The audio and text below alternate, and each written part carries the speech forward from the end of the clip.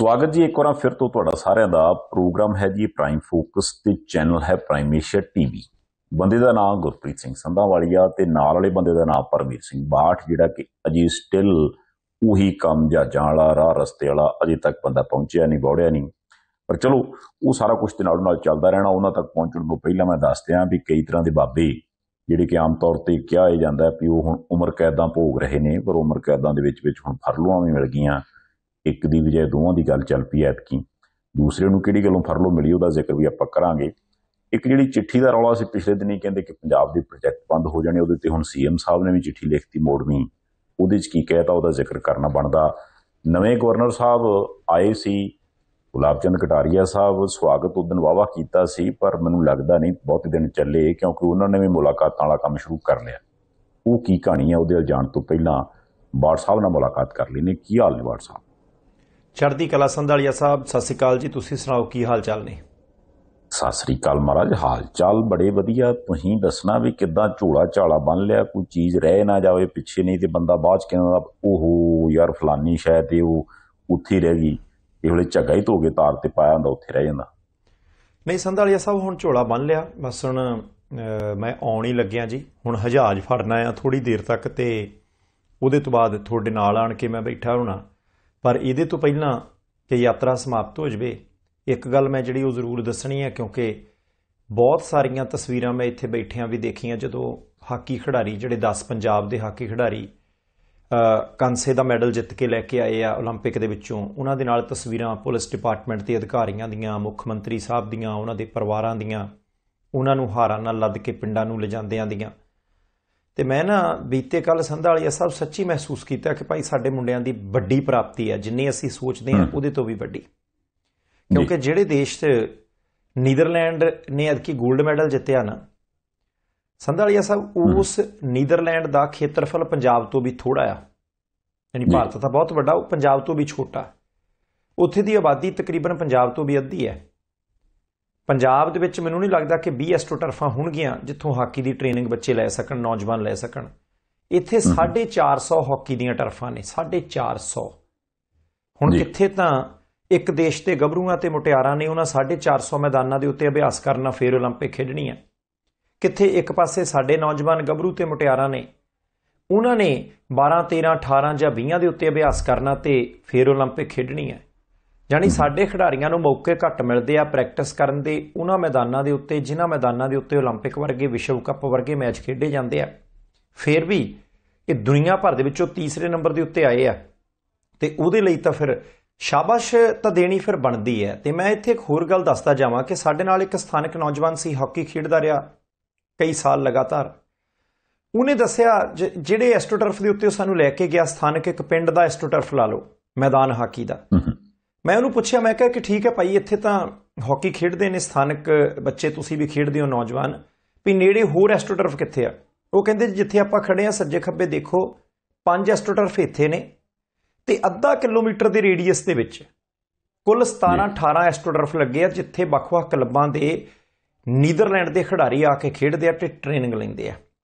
ਹੁਣ ਸੰਧਾਲੀਆ ਸਾਹਿਬ ਜਦੋਂ ਇੰਨੇ ਘੱਟ ਆਪਣੇ ਬੱਚਿਆਂ ਦੇ ਕੋਲ ਆਪਣੇ ਨੌਜਵਾਨਾਂ ਦੇ ਕੋਲ ਪ੍ਰੈਕਟਿਸ ਕਰਨ ਦੇ ਮੌਕੇ ਹੋਣ ਤੇ ਦੁਨੀਆ ਦਾ ਤੀਸਰੀ ਨੰਬਰ ਦਾ ਜਿਹੜਾ ਕੱਪ ਉਹ ਜਿੱਤ ਕੇ ਰਹੇ ਹੁਣ ਕਾਂਸੀ ਦਾ ਮੈਡਲ 올림픽 ਦੇ ਵਿੱਚ ਮਿਲੇ ਸ਼ਾਬਾਸ਼ ਤਾਂ ਫਿਰ ਬਣਦੀ ਹੋਈ ਆ ਨਾ ਕੀ ਕਹਿੰਦੇ ਹੋ ਨਹੀਂ ਬਿਲਕੁਲ ਸ਼ਾਬਾਸ਼ ਬਣਦੀ ਹੈ ਸ਼ਾਬਾਸ਼ ਹੈਗੀ ਵੀ ਆਪਣੇ ਹਾਕੀ ਪਲੇਅਰਾਂ ਨੂੰ ਪਰ ਦੂਜੇ ਪਾਸੇ ਮੈਨੂੰ ਲੱਗਦਾ ਕਿ ਨੀਦਰਲੈਂਡ ਨੂੰ ਜਿਹੜਾ ਤੁਸੀਂ ਹਾਂ ਦੋ ਚਾਰ ਗੱਲਾਂ ਕੀਤੀਆਂ ਉਹਦੇ 'ਚ ਹੁਣ ਮੈਂ ਆਪਣਾ ਬਣਦਾ ਫਰਜ਼ ਨਿਭਾਵਾਂਗਾ ਕਿ ਨੀਦਰਲੈਂਡ ਵਾਲੇ ਜਿਹੜੇ ਆ ਉਹ ਵੀ ਥੋੜੇ ਜਿਹੇ ਸਿਆਣੇ ਬਣਨ ਜਿਸ ਹਿਸਾਬ ਨਾਲ ਉਹ ਚੱਲ ਰਹੇ, ਇਸ ਹਿਸਾਬ ਨਾਲ ਤੇ ਉਜਾੜ ਲੈਣਾ ਮੁਲਕ ਉਹਨਾਂ ਨੇ। ਐਦਾਂ ਥੋੜਾ ਹੁੰਦਾ ਵੀ ਲੋਕਾਂ ਲਈ ਇੰਨੇ ਨੇੜੇ ਨੇੜੇ ਤੁਸੀਂ ਫੈਸਿਲਿਟੀ ਬਣਾ ਦਿਓ, ਲੋਕ ਖੇਡਣ ਮੱਲਣ, ਨਿਆਣੇ ਤਗੜੇ ਹੋਣ, ਹਨਾ?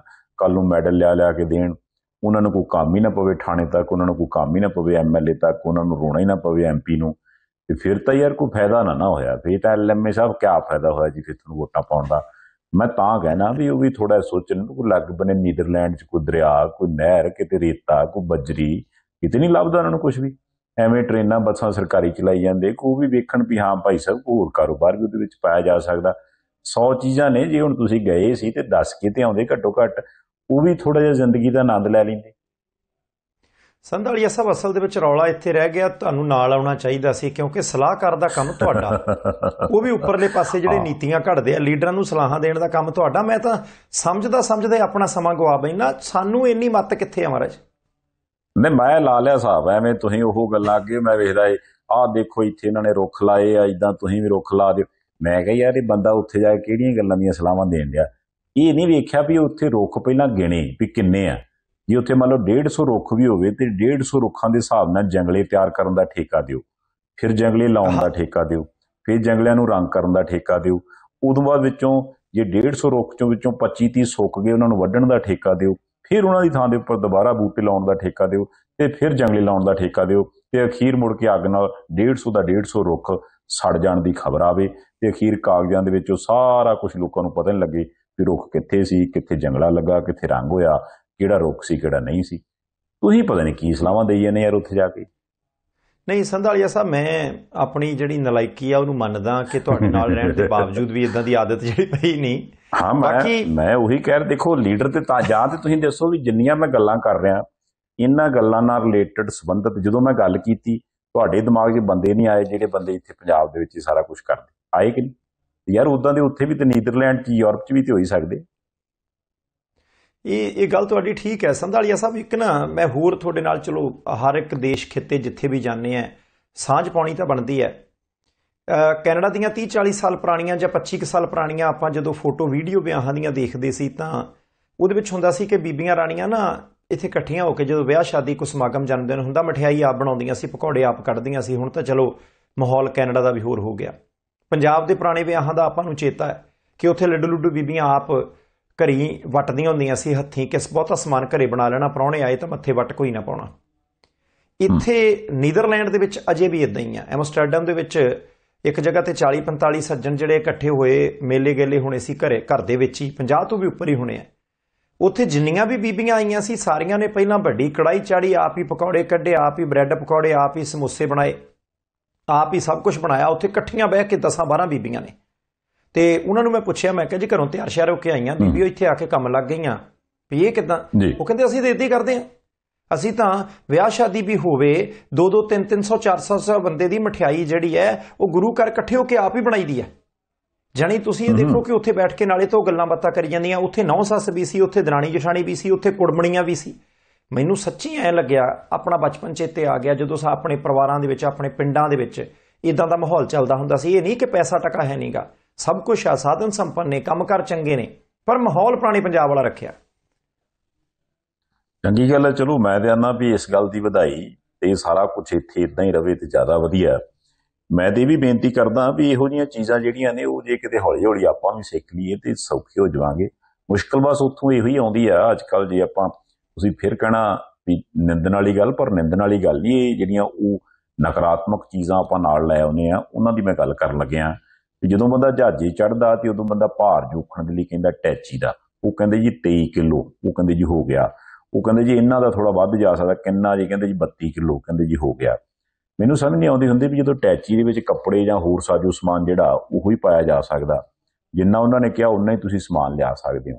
ਤੇ ਫਿਰ ਉਹਦੇ ਤੋਂ ਵੀ ਜ਼ਿਆਦਾ ਕਈ ਗੁਣਾ ਭਾਰੇ, ਹੋਰ ਵਹਿਮ, ਭਰਮ, ਲੜਾਈਆਂ, ਝਗੜੇ ਇੱਧਰ ਉੱਧਰ ਦੇ 36 ਸਿਆਪੇ, ਉਹ ਪਤਾ ਨਹੀਂ ਆਪਾਂ ਕਿਹੜੀ ਜਹਾਜ਼ ਤੇ ਨਾਲ ਲੱਦ ਕੇ ਲੈ ਆਉਨੇ ਆ ਤੇ ਆ ਵੀ ਉਹ ਸਭ ਤੋਂ ਪਹਿਲਾਂ ਜਾਂਦੇ। ਟੈਚੀ ਹੋ ਸਕਦਾ ਤੁਹਾਡਾ ਜੇ ਖੋਲੇ ਨਾ ਖੋਲੇ। ਬਾਕੀ ਚੀਜ਼ਾਂ ਆਪਾਂ ਪਹਿਲਾਂ ਬਾਹਰਲੇ ਮੁਲਕਾਂ ਜਾ ਕੇ ਖੋਲ ਲਈਆਂ। ਪਰ ਉਹਦੇ ਬਾਵਜੂਦ ਵੀ ਜੇ ਮੰਨ ਲਓ ਕਿ ਉੱਥੇ ਅਜੇ ਭਾਈਚਾਰਾ ਹੈਗਾ ਉਹਨਾਂ ਨੇ ਅਜੇ ਪੁਰਾਣੇ ਹਿਸਾਬ ਨਾਲ ਮਿਲਵਰਤਨ ਰੱਖਿਆ ਆਪਸ ਦੇ ਵਿੱਚ ਉਹਨੂੰ ਲੱਗਦਾ ਵੀ ਯਾਰ ਇਦਾਂ ਮਿਲ ਜੁਲ ਕੇ ਇੱਕ ਤੇ ਟਾਈਮ ਪਾਸ ਵਧੀਆ ਹੁੰਦਾ ਦੂਜਾ ਖਰਚਾ ਬਚਿਆ ਰਹਿੰਦਾ ਤੀਸਰਾ ਭਾਈਚਾਰੇ ਦੇ ਵਿੱਚ ਆਪਸ ਦੇ ਵਿੱਚ ਇੱਕ ਦੂਸਰੇ ਨਾਲ ਪਿਆਰ ਬਣਿਆ ਰਹਿੰਦਾ। ਜੇ ਇੰਨਾ ਕੁਝ ਉਹ ਸਾਂਭੀ ਬੈਠੇ ਨੇ ਤੇ ਵਾਕਿਆ ਵਧਾਈ ਦੇਣੀ ਤੇ ਬਣਦੀ ਉਹਨਾਂ ਨੂੰ। ਚਲੋ ਅ, ਸੰਧਾਲੀਆ ਸਾਹਿਬ ਸਾਰੇ ਮੁਲਕ ਵਧੀਆ ਸਾਰੇ ਥਾਵਾਂ ਤੇ ਲੋਕ ਵੀ ਚੰਗੇ ਜਿੱਥੇ ਕਿਤੇ ਸਾਨੂੰ ਮਾੜੀ ਮੋਟੀ ਆਦਤ ਬਦਲਣ ਦੀ ਲੋੜ ਹੈ, ਉੱਥੇ ਆਦਤ ਬਦਲ ਲਈਏ। ਤੇ ਇੱਕ ਚੀਜ਼ ਜਿਹੜੀ ਬਾਰ-ਬਾਰ ਚੁੰਡੀ ਵੱਢ ਰਹੀ ਸੀ, ਚਾਹੇ ਜਰਮਨ ਸੀ ਸੰਧਾਲੀਆ ਸਾਹਿਬ, ਚਾਹੇ ਨੀਦਰਲੈਂਡ, ਚਾਹੇ ਸਵਿਟਜ਼ਰਲੈਂਡ ਦੀ ਗੱਲ ਕਰੀਏ, ਦੱਖਣ ਭਾਰਤ ਦੇ ਬਹੁਤ ਸਾਰੇ ਬੱਚੇ ਪੜਨ ਆ ਰਹੇ ਸੀ, ਚੰਗੇ ਟੌਪ ਦੇ ਕੋਰਸਸ ਦੇ ਵਿੱਚ ਪੜ੍ਹਾਈ ਕਰਨ ਆਉਂਦੇ ਸੀ ਅਣ ਕੇ ਤਨਖਾਹਾਂ ਵੀ ਚੰਗੀਆਂ ਲੈਂਦੇ ਆ।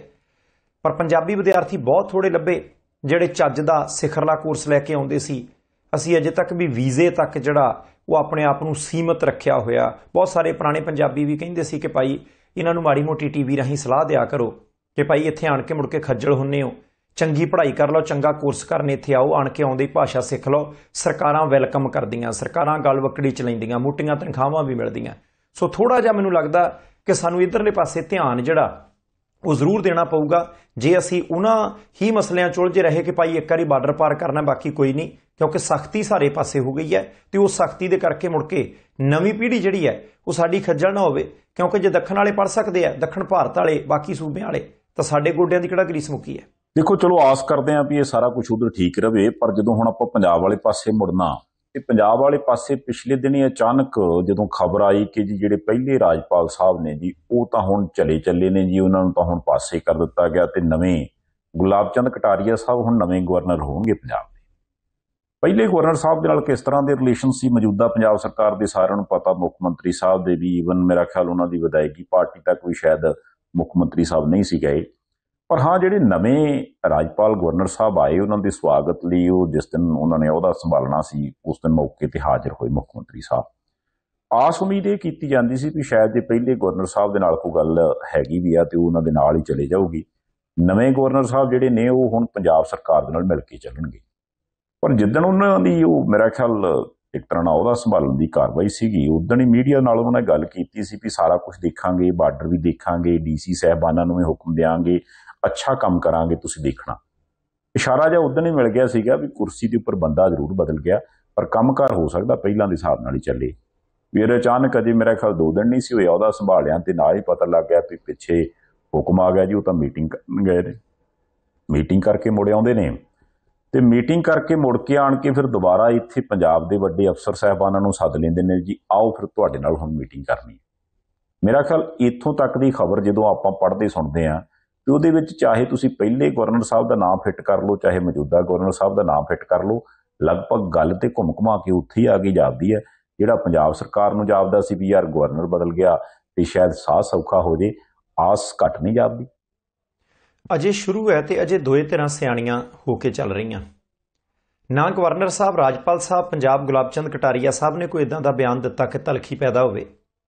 ਨਾ ਪੰਜਾਬ ਸਰਕਾਰ ਨੇ ਕੋਈ ਪਹਿਲ ਕਦਮੀ ਕੀਤੀ ਹੈ ਕਿ ਗਵਰਨਰ ਸਾਹਿਬ ਨੇ ਇਦਾਂ ਕਿਉਂ ਕੀਤੀ? ਹੁਣ ਹੋਇਆ ਕੀ ਹੈ? ਜਿਹੜੇ ਪ੍ਰਸ਼ਾਸਨਿਕ ਅਧਿਕਾਰੀ ਨੇ, ਜਿਹੜੇ ਪੰਜਾਬ ਸਰਕਾਰ ਦੇ ਹੁਕਮਾਂ ਨੂੰ ਲਾਗੂ ਕਰਦੇ ਆ, ਜਿਹੜੇ ਨੀਤੀਆਂ ਨੂੰ ਲਾਗੂ ਕਰਨ ਵਾਲੇ ਆ, ਜਿਨ੍ਹਾਂ ਨਾਲ ਲੋਕਾਂ ਦਾ ਪੰਜਾਬ ਦਿਆਂ ਦਾ ਸਿੱਧਾ ਵਾਹ ਪੈਂਦਾ ਜਿਨ੍ਹਾਂ ਨੇ ਹੇਠਲੇ ਪੱਧਰ ਤੇ ਜਿੰਨੇ ਅਧਿਕਾਰੀ ਨੇ ਉਹਨਾਂ ਨੂੰ ਹੁਕਮ ਦੇਣੇ ਹੁੰਦੇ ਆ ਜਾਂ ਅਸਲ ਦੇ ਵਿੱਚ ਜ਼ਮੀਨੀ ਪੱਧਰ ਦੇ ਉੱਤੇ ਜਿਨ੍ਹਾਂ ਦਾ ਪੈਨ ਚੱਲਦਾ। ਉਹਨਾਂ ਵੱਡੇ ਅਧਿਕਾਰੀਆਂ ਨੂੰ ਸੱਦਿਆ। ਰਾਜਪਾਲ ਸਾਹਿਬ ਨੇ ਮੀਟਿੰਗ ਕੀਤੀ ਸਾਰੇ ਅਧਿਕਾਰੀ ਗਏ ਵੀ। ਇੰਨਾ ਚੰਗਾ ਕੀਤਾ ਪੰਜਾਬ ਸਰਕਾਰ ਨੇ ਕਿ ਕਿਤੇ ਅਧਿਕਾਰੀ ਨਹੀਂ ਰੋਕ ਦਿੱਤੇ। ਕਿਤੇ ਕਿਸੇ ਨੇ ਇਦਾਂ ਦਾ ਬਿਆਨ ਜਾਂ ਟਵੀਟ ਨਹੀਂ ਕਰ ਦਿੱਤਾ ਕਿ ਭਾਈ ਉਹਨਾਂ ਨੇ ਕਿਉਂ ਸੱਦੇ। ਜਾਣ ਦਿੱਤੇ ਕੋਈ ਗੱਲ ਨਹੀਂ। ਨੰਬਰ 2 ਇਹ ਵੀ ਗੱਲ ਆਪਣੇ ਆਪ ਦੇ ਵਿੱਚ ਬਹੁਤ ਮਹੱਤਵਪੂਰਨ ਹੈ। ਕਿ ਰਾਜਪਾਲ ਸਾਹਿਬ ਨੇ ਉਹਨਾਂ ਤੋਂ ਕੇਂਦਰ ਦੀਆਂ ਸਕੀਮਾਂ ਦੀ ਜਾਣਕਾਰੀ ਕਹਿੰਦੇ ਲਈ ਹੈ ਕਿ ਜਿਹੜੀਆਂ ਕੇਂਦਰ ਦੀਆਂ ਸਕੀਮਾਂ ਨੇ ਪੰਜਾਬ 'ਚ ਕਿਵੇਂ ਚੱਲ ਰਹੀਆਂ ਖਰਚ-ਖੁਰਚ ਕੀਤੇ ਜਾ ਰਹੇ ਆ ਕਿੱਥੇ ਘਾਟ ਹੈ ਕਿੱਥੇ ਵਾਧ ਹੈ ਇਤਰਾਜ਼ ਕਿੱਥੇ ਹੈ? ਅਸਲ ਦੇ ਵਿੱਚ ਜਿਹੜੇ ਰਾਜਪਾਲ ਨੇ ਉਹ ਕਦੇ ਵੀ ਪ੍ਰਸ਼ਾਸਨਿਕ ਅਧਿਕਾਰੀਆਂ ਦੀ ਮੀਟਿੰਗ ਸੱਦਦੇ ਨਹੀਂ। ਤੁਸੀਂ ਪੰਜਾਬ ਦੇ ਵਿੱਚ ਆ ਪਿਛਲੇ ਜਿਹੜੇ ਬਨਵਾਰੀ ਲਾਲ ਜੀ ਪ੍ਰੋਹਿਤ ਸਾਹਿਬ ਰਾਜਪਾਲ ਸੀ ਉਹਨਾਂ ਤੋਂ ਪਹਿਲਾਂ ਕਦੇ ਕਿਸੇ ਰਾਜਪਾਲ ਨੂੰ ਨਾ ਅਧਿਕਾਰੀਆਂ ਦੀ ਮੀਟਿੰਗ ਸੱਦਦੇ ਸੁਣਿਆ ਹੋਵੇਗਾ ਨਾ ਉਹਨਾਂ ਨੂੰ ਬਾਰਡਰ ਏਰੀਆ ਦਾ ਦੌਰਾ ਕਰਦੇ ਸੁਣਿਆ ਹੋਵੇਗਾ ਨਾ ਉਹਨਾਂ ਨੂੰ ਕਿਤੇ ਕਮੇਟੀਆਂ ਬਣਾਉਂਦੇ ਸੁਣਿਆ ਹੋਵੇਗਾ ਇਹ ਨਹੀਂ ਕਿ ਉਹ ਕਰ ਨਹੀਂ ਸਕਦੇ, ਨਹੀਂ ਸੀ ਕੋ ਕਰਦਾ ਆਪਣੀਆਂ ਆਪਣੀਆਂ ਹੱਦਾਂ ਦੇ ਵਿੱਚ ਸਾਰੇ ਰਹਿੰਦੇ ਸੀ। ਹੁਣ ਜਿਹੜੇ ਮੌਜੂਦਾ ਰਾਜਪਾਲ ਨੇ, ਜੇ ਆਪਾਂ ਕਹੀਏ ਕਿ ਉਹਨਾਂ ਨੇ ਪੰਜਾਬ 'ਚ ਆ ਕੇ ਕੰਮ ਸ਼ੁਰੂ ਕੀਤਾ ਤੇ ਇਹ ਠੀਕ ਨਹੀਂ। ਉਹ ਪਹਿਲਾਂ ਵੀ ਇੱਕ ਸੂਬੇ ਦੇ ਰਾਜਪਾਲ ਸੀ, ਇਹ ਲੱਭਣਾ ਤੁਸੀਂ ਹੈ। ਜਿਹੜੇ ਸੂਬੇ ਦੇ ਉਹ ਰਾਜਪਾਲ ਸੀ, ਉੱਥੇ ਵੀ ਉਹ ਪ੍ਰਸ਼ਾਸਨਿਕ ਅਧਿਕਾਰੀਆਂ ਦੀ ਮੀਟਿੰਗ ਸੱਦਦੇ ਰਹਿੰਦੇ ਸੀ। ਜਾਣੀ ਕਿ ਜੇ ਆਪਾਂ ਕਹੀਏ ਕਿ ਕੱਲਾ ਪੰਜਾਬ ਦੇ ਵਿੱਚ ਆ ਕੇ ਉਹਨਾਂ ਨੂੰ ਵਿਸ਼ੇਸ਼ ਤੌਰ ਤੇ ਭੇਜਿਆ ਗਿਆ ਕਿ ਤੁਸੀਂ ਐ ਕਰੋ, ਤੁਸੀਂ ਬਰਾਬਰ ਦੀ ਸਰਕਾਰ ਚਲਾਓ ਤਾਂ ਨਹੀਂ, ਉਹ ਪਹਿਲਾਂ ਵੀ ਸੱਦਦੇ ਸੀ। ਮੈਨੂੰ ਤਾਂ ਇਹ ਵੀ ਲੱਗਦਾ ਕਿ ਬਹੁਤ ਚੰਗਾ ਰਾਜਪਾਲ ਸਾਹਿਬ, ਤੁਸੀਂ ਪ੍ਰਸ਼ਾਸਨਿਕ ਅਧਿਕਾਰੀ ਸੱਦੇ, ਤੁਹਾਨੂੰ ਪਹਿਲਾਂ ਕਿਸੇ ਹੋਰ ਸੂਬੇ ਦੇ ਵਿੱਚ ਵੀ ਰਾਜਪਾਲ ਰਹਿਣ ਦਾ ਤਜਰਬਾ ਹੈ। ਤੁਸੀਂ ਜਿੰਨੀਆਂ ਸਕੀਮਾਂ ਨੇ ਕੇਂਦਰ ਦੀਆਂ, ਤੁਸੀਂ ਕੇਂਦਰ ਤੋਂ ਵੀ ਇੱਕ ਅੱਧੀ ਚਿੱਠੀ ਮੰਗਵਾ ਲਓ, ਤੁਸੀਂ ਉਹਨਾਂ ਦੇ ਦੂਤ ਤੋਂ ਪੰਜਾਬ ਦੇ ਵਿੱਚ, ਕਿ ਕਿਹੜੀਆਂ-ਕਿਹੜੀਆਂ ਸਕੀਮਾਂ ਜਿਹੜੀਆਂ ਪੰਜਾਬ ਸੂਬੇ 'ਚ ਲਾਗੂ ਹੋ ਸਕਦੀਆਂ? ਉਹ ਕਿਹੜੀਆਂ-ਕਿਹੜੀਆਂ ਸਕੀਮਾਂ ਜਿਹੜੀਆਂ ਜੇ ਪੰਜਾਬ ਸੂਬੇ 'ਚ ਲਾਗੂ ਨਹੀਂ? ਹੁਣ ਭਾਵੰਤਰ ਭਰਪਾਈ ਯੋਜਨਾ ਆਪਾਂ ਬੜੀ ਵਾਰ ਚਰਚਾ ਕੀਤੀ ਕਿਉਂਕਿ ਜੇ ਅਧਿਕਾਰੀਆਂ ਤੋਂ ਇਹ ਜਾਣਕਾਰੀ ਲਈ ਜਾ ਸਕਦੀ ਹੈ ਕਿ ਕੇਂਦਰ ਦੀਆਂ ਸਕੀਮਾਂ ਇੱਥੇ ਲਾਗੂ ਕਿੰਨੀਆਂ ਹੋ ਰਹੀਆਂ ਕਿੱਦਾਂ ਵਰਤੋਂ ਪੈਸੇ ਦੀ ਹੋ ਰਹੀ ਹੈ ਚੰਗੀ ਗੱਲ ਹੈ। ਪਰ ਤੁਸੀਂ ਕੇਂਦਰ ਤੋਂ ਸਕੀਮਾਂ ਲਿਆਓ ਮੰਨ ਲਓ ਕੇਂਦਰ ਦੇ ਕੋਲੇ 20 ਸਕੀਮਾਂ ਆ। ਰਾਜਪਾਲ ਸਾਹਿਬ ਕੋਲ ਚਿੱਠੀ ਆ ਗਈ ਕਿ ਆ 20 ਸਕੀਮਾਂ ਨੇ ਜਿਨ੍ਹਾਂ ਦੇ ਨਾਲ ਸੂਬਿਆਂ ਦੇ ਵਿੱਚ ਡਿਵੈਲਪਮੈਂਟ ਕੀਤੀ ਜਾ ਸਕਦੀ ਹੈ। ਤੁਸੀਂ ਕਰੋ ਮੁੱਖ ਮੰਤਰੀ ਸਾਹਿਬ ਨਾਲ ਮੁਲਾਕਾਤ ਸੱਦੋ ਮੁੱਖ ਮੰਤਰੀ ਸਾਹਿਬ ਨੂੰ ਚਾਹ ਪਿਓ ਤੇ ਉਹਨਾਂ ਨੂੰ ਪੁੱਛੋ ਕਿ ਭਾਈ ਸਕੀਮਾਂ ਤਾਂ 20 ਨੇ ਜਿਨ੍ਹਾਂ ਦੇ ਪੈਸੇ ਸੂਬੇ 'ਚ ਲੱਗ ਸਕਦੇ ਆ। ਤੁਸੀਂ ਅਜੇ 12 ਜਾਂ 14 ਹੀ ਲਾਗੂ ਕੀਤੀਆਂ। ਆ 6 ਸਕੀਮਾਂ ਹੋਰ। ਲਾਗੂ ਕਰੋ। ਜੇ ਕੇਂਦਰ ਤੋਂ ਪੈਸੇ ਲੈਣ ਦੇ ਵਿੱਚ ਦਿੱਕਤ ਆਉਂਦੀ ਆ ਤਾਂ ਮੈਂ ਖਲੋਤਾ ਮੈਨੂੰ ਨਾਲ ਲੈ ਕੇ ਚੱਲੋ। ਮੈਨੂੰ ਦੱਸੋ ਲਿਖਤੀ ਚਿੱਠੀ ਭੇਜੋ ਮੈਂ ਕੇਂਦਰ ਨੂੰ ਭੇਜਦਾ। ਦੂਸਰੀ ਗੱਲ ਜੇ ਮੈਨੂੰ ਕਦੇ-ਕਦੇ ਐਂ ਵੀ ਲੱਗਦਾ ਹੁੰਦਾ ਜੇ ਰਾਜਪਾਲ ਸਾਹਿਬ ਨੇ ਕੁਝ ਕਰਨਾ ਹੀ ਨਹੀਂ ਹਾਂ ਉਹਨਾਂ ਦੀ ਨੀਅਤ ਠੀਕ ਹੋਵੇ ਸੂਬੇ ਦੀ ਡਿਵੈਲਪਮੈਂਟ ਦੇ ਲਈ। ਜੇ ਰਾਜਪਾਲ ਸਾਹਿਬ ਨੇ ਕੇਵਲ ਮੁੱਖ ਮੰਤਰੀ ਨੂੰ ਜਾਂ ਮੰਤਰੀਆਂ ਨੂੰ ਸਹੁੰ ਹੀ ਚੁਕਾਉਣੀ ਹੈ ਜਾਂ ਉਹਨਾਂ ਨੇ ਕਿਤੇ ਨਾ ਕਿਤੇ ਕੋਈ ਮੀਟਿੰਗ ਹੀ ਕਰਨੀ ਹੈ ਫਿਰ ਤਾਂ ਮੈਨੂੰ ਲੱਗਦਾ ਕਿ ਰਾਜਪਾਲ ਦੇ ਅਹੁਦੇ ਦੇ ਉੱਤੇ ਪੁਨਰ ਵਿਚਾਰ ਹੋ ਜਾਣੀ ਚਾਹੀਦੀ ਹੈ। ਪਿਛਲੇ ਦਿਨਾਂ ਦੇ। ਵਿੱਚ ਪੰਜਾਬ ਦੇ ਵਿੱਚ ਵਿਧਾਨ ਪ੍ਰੀਸ਼ਦ ਦੀ ਪੁਨਰ ਸਥਾਪਤੀ ਦੀ ਗੱਲ ਚੱਲੀ ਜਿਹਦਾ ਇੱਕ ਵਿਧਾਨ ਸਭਾ ਆ ਉਹਦੀ ਵਿਧਾਨ ਪ੍ਰੀਸ਼ਦ ਵੀ ਆ ਕਈ ਸੂਬਿਆਂ 'ਚ ਜਿਹਦਾ ਲੋਕ ਸਭਾ ਤੇ ਰਾਜ ਸਭਾ। ਮੈਨੂੰ ਤਾਂ ਲੱਗਦਾ ਹੁੰਦਾ ਕਿ ਉਹਦੀ ਵੀ ਕੋਈ ਲੋੜ ਨਹੀਂ। ਉਹਦੇ ਵਿੱਚ ਸਿਆਸੀ ਬੰਦੇ ਐਡਜਸਟ ਹੋ ਸਕਦੇ ਆ ਉਹਦਾ ਕੋਈ ਫਾਇਦਾ ਤਾਂ ਹੋਣਾ ਹੀ ਨਹੀਂ। ਇਸ ਕਰਕੇ। ਜੇ ਤਾਂ ਇਹ ਲੱਗਦਾ ਕਿ ਰਾਜਪਾਲ ਸਾਹਿਬ ਦਖਲਅੰਦਾਜ਼ੀ ਕਰਦੇ ਆ ਹੁਣ ਤਾਂ ਆਮ ਆਦਮੀ ਪਾਰਟੀ ਦੇ ਕੋਲੇ 10 12 15 ਐਮਪੀ ਵੀ ਹੈਗੇ ਰਾਜ ਸਭਾ ਤੇ ਲੋਕ ਸਭਾ 'ਚ, ਉੱਥੇ ਗੱਲ ਚਲਾਓ ਕਿ ਰਾਜਪਾਲ ਦੇ ਅਧਿਕਾਰ ਕੀ ਨੇ, ਜੇ ਦੁਬਾਰਾ ਪ੍ਰਭਾਸ਼ਿਤ ਕਰਨ ਦੀ ਲੋੜ ਹੈ ਤਾਂ ਪ੍ਰਭਾਸ਼ਿਤ ਕਰ ਲਓ ਜਿਹਦੇ ਨਾਲ ਕੋਈ ਪੰਗਾ ਪਵੇ ਹੀ ਨਾ। ਪਰ ਸਾਹਿਬ, ਸਲਾਹ ਤੁਹਾਡੀ ਬੜੀ ਵਧੀਆ, ਪਰ ਸਲਾਹ ਨਾ ਬਿਲਕੁਲ ਉਦਾਂ ਦੀ ਆ ਵੀ ਮਤਲਬ ਮੈਂ ਉਦਾਹਰਨ ਦਿਆਂ ਇੱਕ ਵੀ ਜਿੱਦਾਂ ਮੰਨ ਲਓ ਇੱਕ ਰਫਲ ਹੁੰਦੀ ਹੈ ਹੁਣ ਮੰਨ ਲਓ ਵੀ ਤੁਹਾਡੇ ਕੋਲੇ ਰਫਲ ਹੋਵੇ, ਤੁਹਾਨੂੰ ਕਿਸ ਨੇ ਦਿੱਤੀ ਵੀ ਆਹ ਲੈ ਵੀ ਪਰਮੀਰ ਸਿੰਘ ਤੇ ਮੈਂ ਇੱਕ ਰਫਲ ਦਿੱਤੀ, ਇਹ ਤੂੰ ਚਲਾਉਣੀ ਆ। ਹੁਣ ਰਫਲ ਜਦੋਂ ਜਿਹੜੇ ਅਗਲੇ ਬੰਦੇ ਨੇ ਚਲਾਉਣ ਨੂੰ ਦਿੱਤੀ ਹੋਵੇ ਤੇ ਤੁਹਾਡਾ ਫਰਜ਼ ਇਹ ਬਣਦਾ ਵੀ ਤੁਸੀਂ ਪਹਿਲਾਂ ਕਿਸੇ ਦੇ ਮੋਢੇ ਤੇ ਰੱਖੋ। ਉਦੋਂ ਬਾਅਦ ਪਰੇ ਨੂੰ ਕਰਕੇ ਚਲਾਓ। ਤਾਂ ਜੋ ਜਿਹੜੇ ਬੰਦੇ ਨੇ ਤੁਹਾਨੂੰ ਰਫਲ ਦਿੱਤੀ ਉਹ ਆਖੇ ਸ਼ਾਬਾਸ਼ ਹੈ ਵੀ। ਆਹ ਹੋਈ ਨਾ ਗੱਲ। ਤੇ ਜੇ ਤੁਸੀਂ ਉਹ ਰਫਲ ਜਿਹੜੇ ਬੰਦੇ ਨੇ ਰਫਲ ਤੁਹਾਨੂੰ ਦਿੱਤੀ ਹੋਵੇ ਉਸੇ ਵੱਲ ਨੂੰ ਕਰਕੇ ਚਲਾ ਦਿਓ ਤੇ ਫਿਰ ਅਗਲਾ ਬੰਦਾ ਤੁਹਾਨੂੰ ਰਫਲ ਦਊਗਾ। ਆ ਜਿਹੜੀਆਂ ਤੁਸੀਂ ਗੱਲਾਂ ਕਰਦੇ ਆ ਵੀ ਕੇਂਦਰ ਸਰਕਾਰ ਨੂੰ ਤੁਸੀਂ ਆਹ ਪੁੱਛੋ ਕੇਂਦਰ ਸਰਕਾਰ ਨੂੰ ਉਹ ਪੁੱਛੋ ਤੇ ਜਿਹੜੇ ਕਟਾਰੀਆ ਸਾਹਿਬ ਨੂੰ ਉੱਥੋਂ ਅਗਲਾ ਨੇ ਰਾਜਪਾਲ ਬਣਾ ਕੇ ਘੱਲਿਆ, ਉਹ ਬੰਦੇ ਕਹਿਣਗੇ ਵੀ ਸ਼ਾਬਾਸ਼, ਆਹ ਵਧੀਆ ਕਟਾਰੀਆ ਸਾਹਿਬ, ਤੁਹਾਨੂੰ ਇੱਕ ਤੇ ਅਹੁਦਾ ਦਿੱਤਾ ਤੇ ਉੱਤੋਂ ਤੁਸੀਂ ਸਾਨੂੰ ਹੀ ਸਵਾਲ ਜਵਾਬ ਕਰੀ ਜਾਂਦੇ। ਹਾਂ ਆਈਡੀਅਲ ਸਿਚੁਏਸ਼ਨ ਇਹੀ ਹੋਣੀ ਚਾਹੀਦੀ ਹੈ ਵੀ ਜਦੋਂ ਉਹ ਗਵਰਨਰ ਨੇ ਪੰਜਾਬ ਦੇ ਜਾਂ ਕਹਿ ਲਓ ਚੰਡੀਗੜ੍ਹ ਦੇ ਪ੍ਰਸ਼ਾਸਕ ਨੇ, ਤੇ ਫਿਰ ਉਹਨਾਂ ਦਾ ਫਰਜ਼ ਇਹੀ ਬਣਦਾ ਵੀ ਇੱਥੇ ਜਿਹੜਾ ਵੀ ਉਹਨਾਂ ਦੇ ਅਧਿਕਾਰ ਖੇਤਰ ਦੇ ਵਿੱਚ ਏਰੀਆ ਆਉਂਦਾ, ਉੱਥੇ ਜਿਹੜੇ ਵੀ ਲੋਕ ਨੇ, ਉਹਨਾਂ ਲੋਕਾਂ ਦੀਆਂ ਕੀ ਮੁਸ਼ਕਲਾਂ ਨੇ, ਕੀ ਹੱਲ ਹੈ, ਕੇਂਦਰ ਸਰਕਾਰ ਕੀ ਸੋਚਦੀ ਹੈ, ਕੇਂਦਰ ਸਰਕਾਰ ਨੇ ਕਿਹੜੀਆਂ ਕਿਹੜੀਆਂ ਸਕੀਮਾਂ ਚਲਾਈਆਂ ਨੇ, ਉਹਨਾਂ ਸਕੀਮਾਂ ਦਾ ਲਾਭ ਕਿੱਦਾਂ ਮਿਲ ਸਕਦਾ? ਹੋਣਾ ਬਿਲਕੁਲ ਇਦਾਂ ਚਾਹੀਦਾ, ਪਰ ਹੋ ਥੋੜਾ ਜਿਹਾ ਉਹਦੇ ਉਲਟ ਰਿਹਾ। ਇਸੇ ਚੀਜ਼ ਦੀ ਲੜਾਈ ਆਪਾਂ ਸੁੱਖ ਮੰਗਦੇ ਹਾਂ ਵੀ ਆਉਣ ਵਾਲੇ ਦਿਨਾਂ 'ਚ ਦੁਬਾਰਾ ਨਾ ਪੈ ਜਾਵੇ, ਕਿਉਂਕਿ ਜੇ ਦੁਬਾਰਾ ਪੈ ਗਈ, ਤੇ ਪਹਿਲੇ ਗਵਰਨਰ ਸਾਹਿਬ ਜਿੱਦਾਂ ਬਦਲੇ ਗਿਆ, ਇਹ ਕੋਈ ਮਤ ਆਸ ਰੱਖੇ ਕਿ 2027 ਦੀਆਂ ਵਿਧਾਨ ਸਭਾ ਚੋਣਾਂ ਤੱਕ ਜੇ ਕੁਝ ਹੋਰ ਨਹੀਂ ਹੁੰਦਾ, ਤੇ ਇਹ ਵਾਲੇ ਗਵਰਨਰ ਸਾਹਿਬ ਬਦਲੇ ਜਾਣਗੇ। ਇਹਦਾ ਮਤਲਬ 2 2.5 ਸਾਲਾਂ ਤੱਕ ਜੇ ਇਹ ਇੱਕ ਤਰ੍ਹਾਂ ਨਾਲ ਗਰਮੀ ਗਰਮੀ ਹੌਲੀ ਹੌਲੀ ਜ਼ਿਆਦਾ ਵੱਧ ਗਈ, ਆਪਸ ਦੇ ਵਿੱਚ ਤਲਖੀ ਦੇ ਵਿੱਚ ਬਦਲ ਗਈ ਤੇ ਫਿਰ ਹੋ ਸਕਦਾ ਕਿ ਦੋਨਾਂ ਥਾਵਾਂ ਦੇ ਉੱਪਰ ਇਸ ਕੰਮ ਨੂੰ ਚਲਾਉਣਾ ਔਖਾ ਹੋ ਨਹੀਂ, ਠੀਕ ਹੈ ਗੱਲ ਸੰਧਾਲੀਆ ਸਾਹਿਬ ਤੁਹਾਡੀ। ਮੈਂ ਫੌਰੀ ਤੌਰ ਤੇ ਇੱਕ ਮੁੱਦਾ ਤੁਹਾਡੇ ਸਾਹਮਣੇ ਰੱਖ ਦਿੰਨਾ ਪੰਜਾਬ ਦੇ ਵਿੱਚ ਝੋਨਾ ਉਹਦੀ ਫਸਲ ਪੱਕਣ ਵਾਲੀ ਹੈ। ਉਹਦੀ ਖਰੀਦ ਸ਼ੁਰੂ ਹੋ ਜਾਣੀ ਹੋਰ 20-25 ਦਿਨਾਂ ਨੂੰ। ਸ਼ੈਲਰਾਂ ਦੇ ਵਿੱਚ ਪਿਛਲੇ ਸਾਲ ਦਾ ਝੋਨਾ ਪਿਆ। ਚੌਲ ਪਏ ਆ। ਜੇ ਉਹ ਨਾ ਉਦੋਂ ਤੱਕ ਚੁਕਵਾਇਆ ਗਿਆ ਤਾਂ ਪੰਜਾਬ ਦੇ ਸ਼ੈਲਰਾਂ ਦੇ ਵਿੱਚ ਨਵਾਂ ਝੋਨਾ ਰੱਖਣ ਨੂੰ ਥਾਂ ਨਹੀਂ ਹੋਣੀ। ਸ਼ੈਲਰ ਮਾਲਕ ਪੰਜਾਬ ਸਰਕਾਰ ਤੱਕ ਪਹੁੰਚ ਕਰ ਰਿਹਾ ਕਿ ਕੇਂਦਰ ਸਰਕਾਰ ਨੇ ਅਜੇ ਤੱਕ ਲਿਫਟਿੰਗ ਨਹੀਂ ਕਰਾਈ। ਮੁੱਦਾ ਛੋਟਾ ਲੱਗਦਾ। ਸਾਨੂੰ ਲੱਗਦਾ ਕਿ ਸਾਡੇ ਨਾਲ ਸੰਬੰਧਿਤ ਨਹੀਂ ਹੈ। ਪਰ ਮੈਂ ਤਾਂ ਕਹਿੰਦਾ ਕਿ ਰਾਜਪਾਲ ਸਾਹਿਬ ਤੁਸੀਂ ਚੰਗਾ ਕੀਤਾ ਪ੍ਰਸ਼ਾਸਨਿਕ ਅਧਿਕਾਰੀਆਂ ਨਾਲ ਮੁਲਾਕਾਤ ਕੀਤੀ। ਮੈਨੂੰ ਨਹੀਂ ਪਤਾ ਕਿ ਇਹ ਜਿਹੜਾ ਡਿਪਾਰਟਮੈਂਟ ਹੈ ਜਿਹੜੇ ਸ਼ੈਲਰ ਮਾਲਕਾਂ ਨੂੰ ਦੇਖਣ ਵਾਲਾ ਹੈ ਜਾਂ ਉਹ ਗਡਾਊਨ ਖਾਲੀ ਕਰਾਉਣ ਵਾਲਾ ਡਿਪਾਰਟਮੈਂਟ ਹੈ ਕੋਈ ਉਹਦਾ ਸੈਕਟਰੀ ਸੁਕਟਰੀ ਵੀ ਤੁਹਾਨੂੰ ਮਿਲਿਆ ਕਿ ਨਹੀਂ ਮਿਲਿਆ? ਤੇ ਜੇ ਮਿਲਿਆ ਤੇ ਉਹਨੇ ਪਤਾ ਨਹੀਂ ਸਾਨੂੰ ਤੁਹਾਨੂੰ ਦੱਸਿਆ ਕਿ ਨਹੀਂ ਦੱਸਿਆ। ਪਰ ਤੁਸੀਂ ਕੇਂਦਰ ਦੀ ਸਰਕਾਰ ਨੂੰ ਇੱਕ ਈਮੇਲ ਕਰ ਦਿਓ। ਕਿ ਭਾਈ ਮੈਂ ਪੰਜਾਬ ਦਾ ਗਵਰਨਰ ਹਾਂ, ਪੰਜਾਬ ਦੇ ਸ਼ੈਲਰ ਪਹਿਲੇ ਝੋਨੇ ਤੇ ਪਹਿਲੇ ਚੌਲਾਂ ਨਾਲ ਤੁੰਨੇ ਪਏ ਆ ਤੇ ਝੋਨੇ ਦੀ ਫਸਲ ਲੱਕ ਲੱਕ ਹੋਈ ਖੜੀ ਹੈ ਉੱਥੇ ਰੰਗ ਬਦਲਣ ਲੱਗ ਪੈਣਾ, ਮੁੰਜਰਾਂ ਥੱਲੇ ਨੂੰ ਹੋਣ ਲੱਗ ਪਈਆਂ ਭਾਰੀਆਂ ਹੋ ਕੇ ਝੋਨਾ ਮੰਡੀਆਂ 'ਚ ਆ ਜਾਣਾ, ਮੁੜ ਕੇ ਅਸੀਂ ਸ਼ੈਲਰਾਂ 'ਚ ਰੱਖਣਾ ਕਿੱਥੇ ਆ? ਇਸ ਕਰਕੇ ਤੁਸੀਂ ਖਾਲੀ ਕਰਾਓ ਪੰਜਾਬ ਦੇ ਗਡਾਊਨ, ਪੰਜਾਬ ਦੇ ਸ਼ੈਲਰ। ਜੇ ਤਾਂ ਰਾਜਪਾਲ ਸਾਹਿਬ ਨੇ ਇਦਾਂ ਦੀਆਂ ਦੋ ਕੁ ਚਿੱਠੀਆਂ ਲਿਖ ਦਿੱਤੀਆਂ। ਸੰਧਾਲੀਆ ਸਾਹਿਬ ਫਿਰ ਪੰਜਾਬ ਦੇ ਲੋਕਾਂ ਨੇ ਵੀ ਕਹਿਣਾ, ਰਾਜਪਾਲ ਸਾਹਿਬ ਚੰਗਾ ਕੰਮ ਕਰਦੇ ਆ। ਫਿਰ ਪੰਜਾਬ ਦੀ ਸਰਕਾਰ ਵੀ ਕਹੂਗੀ ਕਿ ਚਲੋ ਯਾਰ ਸਾਡੇ ਵੀ ਹੱਕ ਦੀ ਕੋਈ ਗੱਲ ਕੀਤੀ ਇਦਾਂ ਚੱਲ ਜੂ ਕੰਮ? ਨਹੀਂ ਇਦਾਂ ਵੀ ਨਹੀਂ ਚੱਲਣਾ ਨਾ ਕਿਉਂਕਿ ਕਾਰਨ ਇਹ ਵੀ ਜਦੋਂ ਇਦਾਂ ਉਹਨਾਂ ਨੇ ਕੀਤਾ ਉਦੋਂ। ਪ੍ਰੋਬਲਮ ਆ ਜਾਣੀ ਪੰਜਾਬ ਸਰਕਾਰ ਨੂੰ। ਹੁਣ ਜਿਹੜੇ ਬੰਦਿਆਂ ਕੋਲੇ ਮੰਤਰਾਲਾ ਆ ਜਿਹੜੇ ਬੰਦੇ ਮੰਤਰੀ ਨੇ ਕੈਬਨਿਟ ਮੰਤਰੀ ਨੇ ਵੱਖ-ਵੱਖ ਮਹਿਕਮਿਆਂ ਦੀ ਆਪਾਂ ਗੱਲ ਕਰ ਲਈਏ। ਭਾਵੇਂ ਉਹਨਾਂ ਦੇ ਮਹਿਕਮੇ ਨਾਲ ਸੰਬੰਧਿਤ ਹੀ ਕੰਮ ਹੋਵੇ ਰਾਜਪਾਲ ਸਾਹਿਬ ਇਦਾਂ ਕਹਿ ਕੇ ਭਾਵੇਂ ਸਖਾਲਾ ਕਰਾ ਦੇਣ ਸੌਖਾ ਕਰਾ ਦੇਣ। ਪਰ ਜੇ ਸੈਕਟਰੀ ਸਾਹਿਬ ਹਾਜ਼ਰੀ ਗਵਰਨਰ ਹਾਊਸ ਭਰਨਗੇ ਜਾ ਕੇ। ਉਹਨਾਂ ਨੂੰ ਜਾ ਕੇ ਚਿੱਠੀ ਦੇਣਗੇ, ਫਿਰ ਗਵਰਨਰ ਸਾਹਿਬ ਗਾਂ ਚਿੱਠੀ ਭੇਜਣਗੇ, ਉੱਥੋਂ ਚਿੱਠੀ ਫਿਰ ਗਵਰਨਰ ਸਾਹਿਬ ਨੂੰ ਆਊਗੀ, ਗਵਰਨਰ ਸਾਹਿਬ ਫਿਰ ਸੈਕਟਰੀ ਸਾਹਿਬ ਨੂੰ ਸੱਦ ਕੇ ਚਿੱਠੀ ਦੇਣਗੇ। ਸੈਕਟਰੀ ਸਾਹਿਬ ਥੱਲੇ ਜਾ ਕੇ ਜਿਹੜੇ ਬਾਕੀ ਦੇ ਅਫਸਰ ਸਾਹਿਬਾਨ ਨੇ, ਉਹਨਾਂ ਨੂੰ ਜਾਂ ਤੇ ਚਿੱਠੀ ਦੇਣਗੇ ਜਾਂ ਫਿਰ ਮੰਤਰੀ ਸਾਹਿਬ ਨੂੰ ਰਿਪੋਰਟ ਕਰਨਗੇ ਤੇ ਉੱਥੇ ਫਿਰ ਕਿਤੇ ਨਾ ਕਿਤੇ ਇਹ ਰੌਲਾ ਪੈ ਜਾਣਾ ਜਿਹੜਾ ਪਿਛਲੇ ਸਮੇਂ 'ਚ ਪੈਂਦਾ ਰਿਹਾ ਵੀ ਵੋਟਾਂ ਕਿਹਨਾਂ ਨੇ ਲਈਆਂ, ਲੋਕਾਂ ਨੇ ਵੋਟਾਂ ਕਿਹਨੂੰ ਪਾਈਆਂ ਤੇ ਜੇ ਹੁਣ ਜਿਹੜੇ ਚੁਣੇ ਹੋਏ ਲੋਕ ਨੇ, ਉਹਨਾਂ ਨੇ ਸਰਕਾਰ ਨਹੀਂ ਚਲਾਉਣੀ ਤੇ ਫਿਰ ਜਿਹੜੇ ਇਸ ਤਰ੍ਹਾਂ ਕਹ ਲੋ ਕਿ ਵੀ ਅਪਾਇੰਟ ਕੀਤੇ ਹੋਏ ਲੋਕ ਨੇ, ਉਹਨਾਂ ਨੇ ਆਣ ਕੇ ਦਖਲਅੰਦਾਜ਼ੀਆਂ ਕਰਨੀਆਂ ਤੇ ਫਿਰ ਕਾਦੀ ਸਰਕਾਰ ਰਹਿ ਗਈ? ਇਹ ਤਾਂ ਸਾਡੇ ਨਾਲ ਧੱਕਾ ਹੋ ਰਿਹਾ। ਇਹ ਪਹਿਲਾਂ ਦਿੱਲੀ 'ਚ ਵੀ ਕਰਦੇ ਸੀ, ਹੁਣ ਪੰਜਾਬ 'ਚ ਵੀ ਕਰਨਗੇ। ਐਦਾਂ ਦੇ ਬਿਆਨ ਵੀ ਹੁਣ ਜੇ ਆਉਣ ਲੱਗ ਪਏ ਨੇ, ਰੌਲਾ ਪਤਾ ਕੀ ਹੈ ਵਾਟਸਐਪ ਰੌਲਾ ਇਹ ਹੈ ਕਿ ਜਿੱਥੇ ਕਿਤੇ ਵੀ ਚਲੇ ਜਾਓ 5 ਸਾਲ ਵੈਸੇ ਮੈਨੂੰ ਲੱਗਦਾ ਵੀ ਜਦੋਂ ਲੋਕਤੰਤਰ ਦੇ ਲਈ ਉਹਨੂੰ ਰੱਖੇ ਸੀ ਵੀ 5 ਸਾਲ ਬਾਅਦ ਚੋਣਾਂ ਹੋਣੀਆਂ, ਉਹ ਬੜਾ ਵਧੀਆ ਕੰਮ ਸੀ। ਇਸੇ ਕਰਕੇ ਸ਼ੁਰੂ ਸ਼ੁਰੂ ਚੋਂ 5 ਸਾਲਾ ਯੋਜਨਾ ਜੀ ਵੀ ਚੱਲਦੀ ਹੁੰਦੀ ਸੀ ਯਾਰ 5 ਸਾਲਾਂ 'ਚ ਤੁਸੀਂ ਦੇਖੋ ਕੀ ਕੰਮ ਕਰਦੇ ਹੋ? ਸਾਢੇ 4 ਸਾਲ ਤੇ ਘੱਟੋ ਘੱਟ ਕੰਮ ਕਰੋ। ਮਗਰਲੇ 6 ਮਹੀਨੇ ਤੁਸੀਂ ਬਾਅਦ ਦੇ ਵਿੱਚ ਅਗਲੀਆਂ ਵੋਟਾਂ ਦੀ ਤਿਆਰੀ ਕਰ ਲਿਓ। ਇੱਥੇ ਕੰਮ ਕੀ ਹੋਣ ਲੱਗ ਪਿਆ? ਜਿੱਦਣ ਵੋਟਾਂ ਪੈਂਦੀਆਂ ਨੇ, ਨਤੀਜਾ ਆਉਣ ਤੋਂ ਅਗਲੇ ਦਿਨ ਹੀ ਜਿਹਦੀ ਸਰਕਾਰ ਬਣ ਜਾਂਦੀ, ਉਹਨੂੰ ਵੀ ਫਿਕਰ ਹੁੰਦਾ ਵੀ ਮੇਰੀ ਚਲੇ ਨਾ ਜਾਵੇ ਕਿਤੇ। ਜਿਹੜੇ ਕੁਰਸੀ ਤੋਂ ਲਾਂਭੇ ਹੋ ਜਾਂਦੇ, ਉਹਨਾਂ ਨੂੰ ਵੀ ਫਿਕਰ ਹੁੰਦਾ ਵੀ ਆਪਾਂ ਹੁਣ ਇਹਨੂੰ ਲਾ ਕੇ ਤੇ ਕੁਰਸੀ ਤੇ ਬਹਿਣਾ ਕਿੱਦਾਂ। ਇਹ ਜਿਹੜੀ 5 ਸਾਲਾਂ ਦੇ ਵਿੱਚ ਵੀ ਸਿਆਸਤ ਚੱਲਣ ਲੱਗ ਪਈ, ਉਹਦਾ ਕਰਕੇ ਮੈਨੂੰ ਲੱਗਦਾ ਵੀ ਦੇਸ਼ ਦਾ ਲਾ ਲਓ, ਸੂਬੇ ਦਾ ਲਾ ਲਓ, ਸਾਰੇ ਪਾਸੇ ਵਿਕਾਸ ਠੱਪ ਆ। ਤੇ ਰਾਜਨੀਤੀ ਉੱਪਰ ਹੈ। ਸੰਧਾਲੀਆ ਸਾਹਿਬ, ਗੱਲ ਇਦਾਂ ਕਿ ਮੁੱਖ ਮੰਤਰੀ ਪੰਜਾਬ ਭਗਵੰਤ ਮਾਨ ਸਾਹਿਬ ਇੱਕ ਮੀਟਿੰਗ ਸੱਦਦੇ ਆ ਆਮ ਆਦਮੀ ਪਾਰਟੀ ਦੇ ਵਿਧਾਇਕਾਂ ਦੀ ਤੇ ਉਸ ਮੀਟਿੰਗ ਦੇ ਵਿੱਚ ਸੰਦੀਪ ਪਾਠਕ ਵੀ ਆਉਂਦੇ ਆ ਜਿਹੜੇ ਕਿ ਜਥੇਬੰਦਕ ਸਕੱਤਰ ਨੇ ਆਮ ਆਦਮੀ ਪਾਰਟੀ ਦੇ ਜਥੇਬੰਦਕ ਢਾਂਚੇ ਨੂੰ ਚਲਾਉਣ ਦੀ ਬਹੁਤੀ ਜ਼ਿੰਮੇਵਾਰੀ ਉਹਨਾਂ ਦੀ ਰਹੀ ਹੈ ਸ਼ੁਰੂ ਤੋਂ।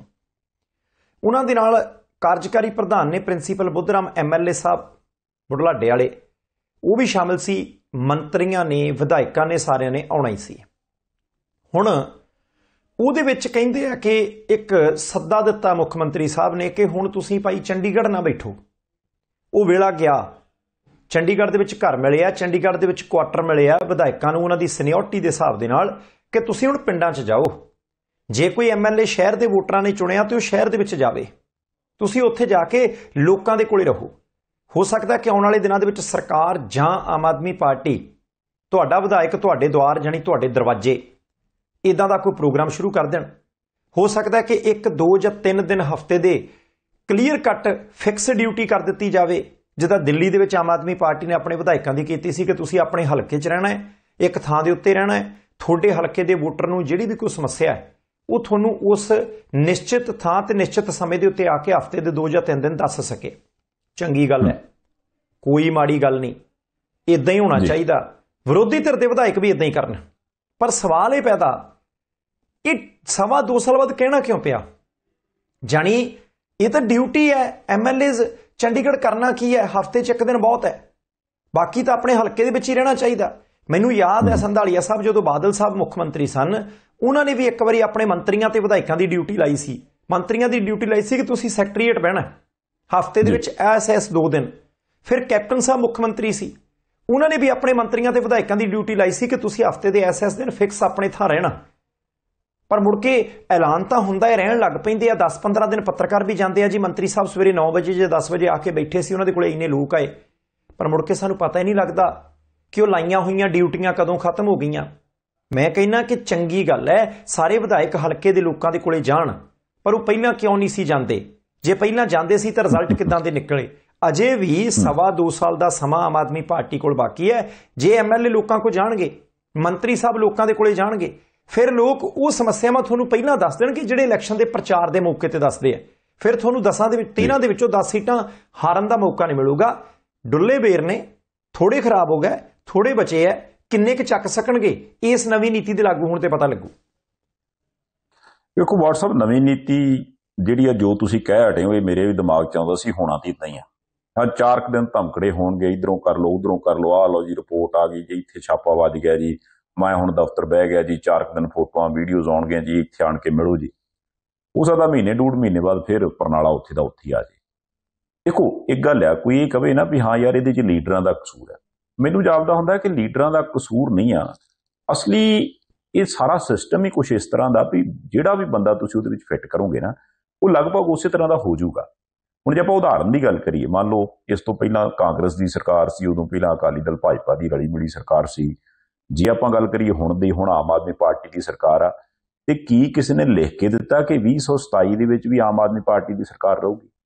ਉਹ ਤਾਂ। ਚਲੋ ਦੂਰ ਦੀ ਗੱਲ ਰਹਿ ਗਈ। ਜੇ ਆਪਾਂ ਮੰਤਰਾਲਿਆਂ ਦੀ ਗੱਲ ਹੀ ਕਰ ਲਈਏ ਕੀ ਕੋਈ ਇਸ ਗੱਲ ਦੀ ਗਾਰੰਟੀ ਲੈ ਸਕਦਾ ਵੀ ਆ ਅਗਸਤ ਮਹੀਨਾ ਚੱਲ ਰਿਹਾ ਜਿਹੜੇ ਜਿਹੜੇ ਕੈਬਨਿਟ ਮੰਤਰੀ ਜਿਸ ਜਿਸ ਮੰਤਰਾਲੇ ਦਾ ਵੀ ਉਹ ਕਾਰਜਭਾਰ ਸੰਭਾਲਦੇ ਨੇ ਉਹ ਉਸੇ ਮੰਤਰਾਲੇ ਦੇ ਵਿੱਚ ਰਹਿਣਗੇ ਜਾਂ ਇਵਨ ਮੰਤਰੀ ਵੀ ਰਹਿਣਗੇ ਕਿ ਨਹੀਂ ਰਹਿਣਗੇ। ਇਹ ਜਿਹੜੀ ਅਨਸਰਟੇਨਿਟੀ ਹੈ ਨਾ, ਕਿ ਸਰਕਾਰ ਦੇ ਵਿੱਚ ਪਤਾ ਨਹੀਂ ਯਾਰ ਅੱਜ ਆਪਾਂ ਹੈਗੇ ਆ ਕੱਲ ਨੂੰ ਰਹਿਣਾ ਕਿ ਨਹੀਂ ਰਹਿਣਾ, ਅਫਸਰਾਂ ਨੇ ਤੇ ਇੱਥੇ ਰਹਿਣਾ, ਉਸ ਤੋਂ ਪਹਿਲਾਂ ਜਦੋਂ ਅਫਸਰਾਂ ਕੋਲੋਂ ਆਣ ਕੇ ਫਾਈਲ ਅਗਲਾ ਮੰਗਦਾ ਹੋਊਗਾ, ਉਹ ਕਹਿਣਗੇ ਜੀ ਆਹ ਪਹਿਲਾਂ ਇੱਕ ਕੰਮ ਸੀਗਾ ਜੀ, ਪਹਿਲੇ ਮੰਤਰੀ ਸਾਹਿਬ ਇਦਾਂ ਕਹਿੰਦੇ ਸੀ, ਹੁਣ ਉਦਾਂ ਕਰ ਲਿਆ, ਤੁਸੀਂ ਹੁਣ ਕਿੱਦਾਂ ਕਰਨੀ ਹੈ? ਉਹ ਜਿੰਨੇ ਕੁ ਚਿਰ ਤੱਕ ਨਵੇਂ ਬੰਦੇ ਨੂੰ ਸਾਰੇ ਕੁਝ ਦੀ ਸਮਝ ਆਉਂਦੀ ਆ, ਉਨੇ ਚਿਰ ਨੂੰ ਜਾਂ ਤਾਂ ਮੰਤਰਾਲਾ ਬਦਲ ਜਾਂਦਾ ਜਾਂ ਸਰਕਾਰ ਬਦਲ ਜਾਂਦੀ ਹੈ। ਤੁਸੀਂ ਆਪ ਹਿਸਾਬ ਲਾਓ ਕਿ ਪੰਜਾਂ ਸਾਲਾਂ ਚੋਂ ਅੱਗੇ ਜਦੋਂ ਮੈਂ ਗੱਲ ਕਰਕੇ ਹਟਿਆ ਵੀ 90% ਦੀ ਧਿਆਨ ਤੇ ਲੀਡਰਾਂ ਦਾ ਇਸ ਪਾਸੇ ਰਹਿੰਦਾ ਵੀ ਗਾਂ ਅਗਲੀ ਚੋਣ ਕਿੱਦਾਂ ਜਿੱਤਣੀ ਹੈ। ਉਹਦੇ ਚੋਂ ਵੀ ਜਿਹੜਾ ਉਹਨਾਂ ਨੂੰ ਮੰਨ ਲਓ ਕਿ ਉਹਦਾ ਕੋਈ ਮਿਲਦਾ, ਉਹਦੇ ਵਿੱਚ ਵੀ ਇਹ ਕੋਈ ਗਰੰਟੀ ਨਹੀਂ ਹੁੰਦੀ ਵੀ 5 ਸਾਲ ਮੈਂ ਹੀ ਮੰਤਰੀ ਰਹਿਣਾ ਕਿ ਨਹੀਂ ਰਹਿਣਾ। ਜਾਂ ਜੇ ਮੰਨ ਲਓ ਕਿ ਉਹ ਮਹਿਕਮਾ ਮੇਰੇ ਕੋਲੇ ਹੈਗਾ, ਰਹਿਣਾ ਕਿ ਨਹੀਂ ਰਹਿਣਾ, ਉਹਦੇ ਵਿੱਚ ਜੇ ਕੋਈ ਕੰਮ ਸ਼ੁਰੂ ਕਰਾਇਆ ਤੇ ਉਹਦੀ ਕੀ ਗਰੰਟੀ ਹੈ ਵੀ ਗਾਂ ਜਿਹੜਾ ਅਗਲਾ ਮੰਤਰੀ ਆਊਗਾ ਉਹ ਉਸੇ ਢੰਗ ਨਾਲ ਕਰੂਗਾ ਕਿ ਨਹੀਂ ਕਰੂਗਾ। ਇਹ ਜਿਸ ਹਿਸਾਬ ਨਾਲ ਇਹ ਕੋਈ ਪੰਜਾਬ ਦਾ ਕੱਲਾ ਕਸੂਰ ਨਹੀਂ ਹੈ, ਪੂਰੇ ਦੇਸ਼ 'ਚ ਹੀ ਕੰਮ ਇਦਾਂ ਚੱਲਦਾ। ਤੁਸੀਂ ਕੇਂਦਰ ਦੇ ਵਿੱਚ ਵੀ ਭਾਵੇਂ ਲਾ ਲਓ, ਕੇਂਦਰੀ ਮੰਤਰੀਆਂ ਦਾ ਤਾਂ ਇਹੋ ਹਾਲ ਹੈ। ਅੱਜ ਮੰਨ ਲਓ ਕਿਸੇ ਕੋਲੇ ਮੰਤਰਾਲਾ ਹੈਗਾ ਕੱਲ ਨੂੰ ਨਹੀਂ ਹੈਗਾ। ਆ ਜਿਹੜਾ ਮੈਨੂੰ ਲੱਗਦਾ ਹੁੰਦਾ ਨਾ ਵੀ ਅਡੌਕ ਬੇਸ ਜਿਹਦੇ ਉੱਪਰ ਕੰਮ ਲੱਗਦਾ, ਵੀ ਆਰਜੀ ਦੇ ਤੌਰ ਦੇ ਉੱਪਰ ਕਿਸੇ ਨੂੰ ਮੰਤਰੀ ਬਣਾ ਦਿਓ, ਕਿਸੇ ਨੂੰ ਅਹੁਦਾ ਦੇ ਦਿਓ, ਕਿਸੇ ਨੂੰ ਕੋਈ ਨਾ ਕਿਸੇ ਦੇ ਉੱਪਰ ਕੋਈ ਜ਼ਿੰਮੇਵਾਰੀ ਦੇ ਦਿਓ ਕੱਲ ਨੂੰ ਪਤਾ ਨਹੀਂ ਅਗਲੇ ਨੇ ਰਹਿਣਾ ਕਿ ਨਹੀਂ ਰਹਿਣਾ। ਤੁਸੀਂ ਆਪ ਸੋਚੋ ਵੀ ਜਿਹੜੀ ਚੀਜ਼ ਤੇ ਬੰਦਾ ਪੱਕਾ ਹੀ ਨਹੀਂ ਜਿਹੜੀ ਚੀਜ਼ ਦੀ ਉਹਨੂੰ ਗਰੰਟੀ ਕੋਈ ਨਹੀਂ ਉੱਥੇ ਅਗਲਾ ਧਿਆਨ ਦੇਊਗਾ ਜਾਂ ਫਿਰ ਉੱਥੇ ਜਾ ਕੇ ਧਿਆਨ ਦੇਊਗਾ ਜਿਹੜਾ ਉਹਦਾ ਹਲਕਾ ਜਿੱਥੋਂ ਨੇ ਜਿੱਤ ਕੇ ਆਉਣਾ ਜਿੱਥੋਂ ਨੇ ਵੋਟਾਂ ਲੈਣੀਆਂ।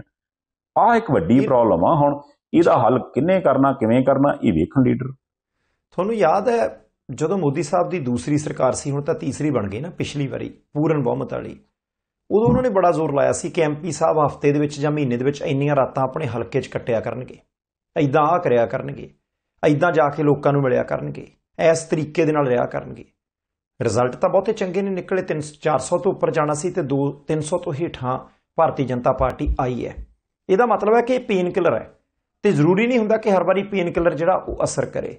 ਠੀਕ ਹੈ, ਮੁੱਖ ਮੰਤਰੀ ਸਾਹਿਬ ਯਤਨ ਕਰ ਰਿਹਾ ਤੁਸੀਂ ਯਤਨ ਕਰੋ, ਤੁਹਾਡੇ ਯਤਨਾਂ ਨੂੰ ਫਲ ਪੈਂਦਾ ਕਿ ਨਹੀਂ ਪੈਂਦਾ, ਇਹ ਤਾਂ ਲੋਕਾਂ ਨੇ ਦੱਸਣਾ ਦੂਸਰੇ ਪਾਸੇ ਮੁੱਖ ਮੰਤਰੀ ਸਾਹਿਬ ਨੇ ਇੱਕ ਜਵਾਬੀ ਚਿੱਠੀ ਲਿਖੀ ਹੈ। ਚਿੱਠੀ ਦਾ ਉੱਤਰ ਦੇਣਾ ਬੜਾ ਜ਼ਰੂਰੀ ਹੁੰਦਾ।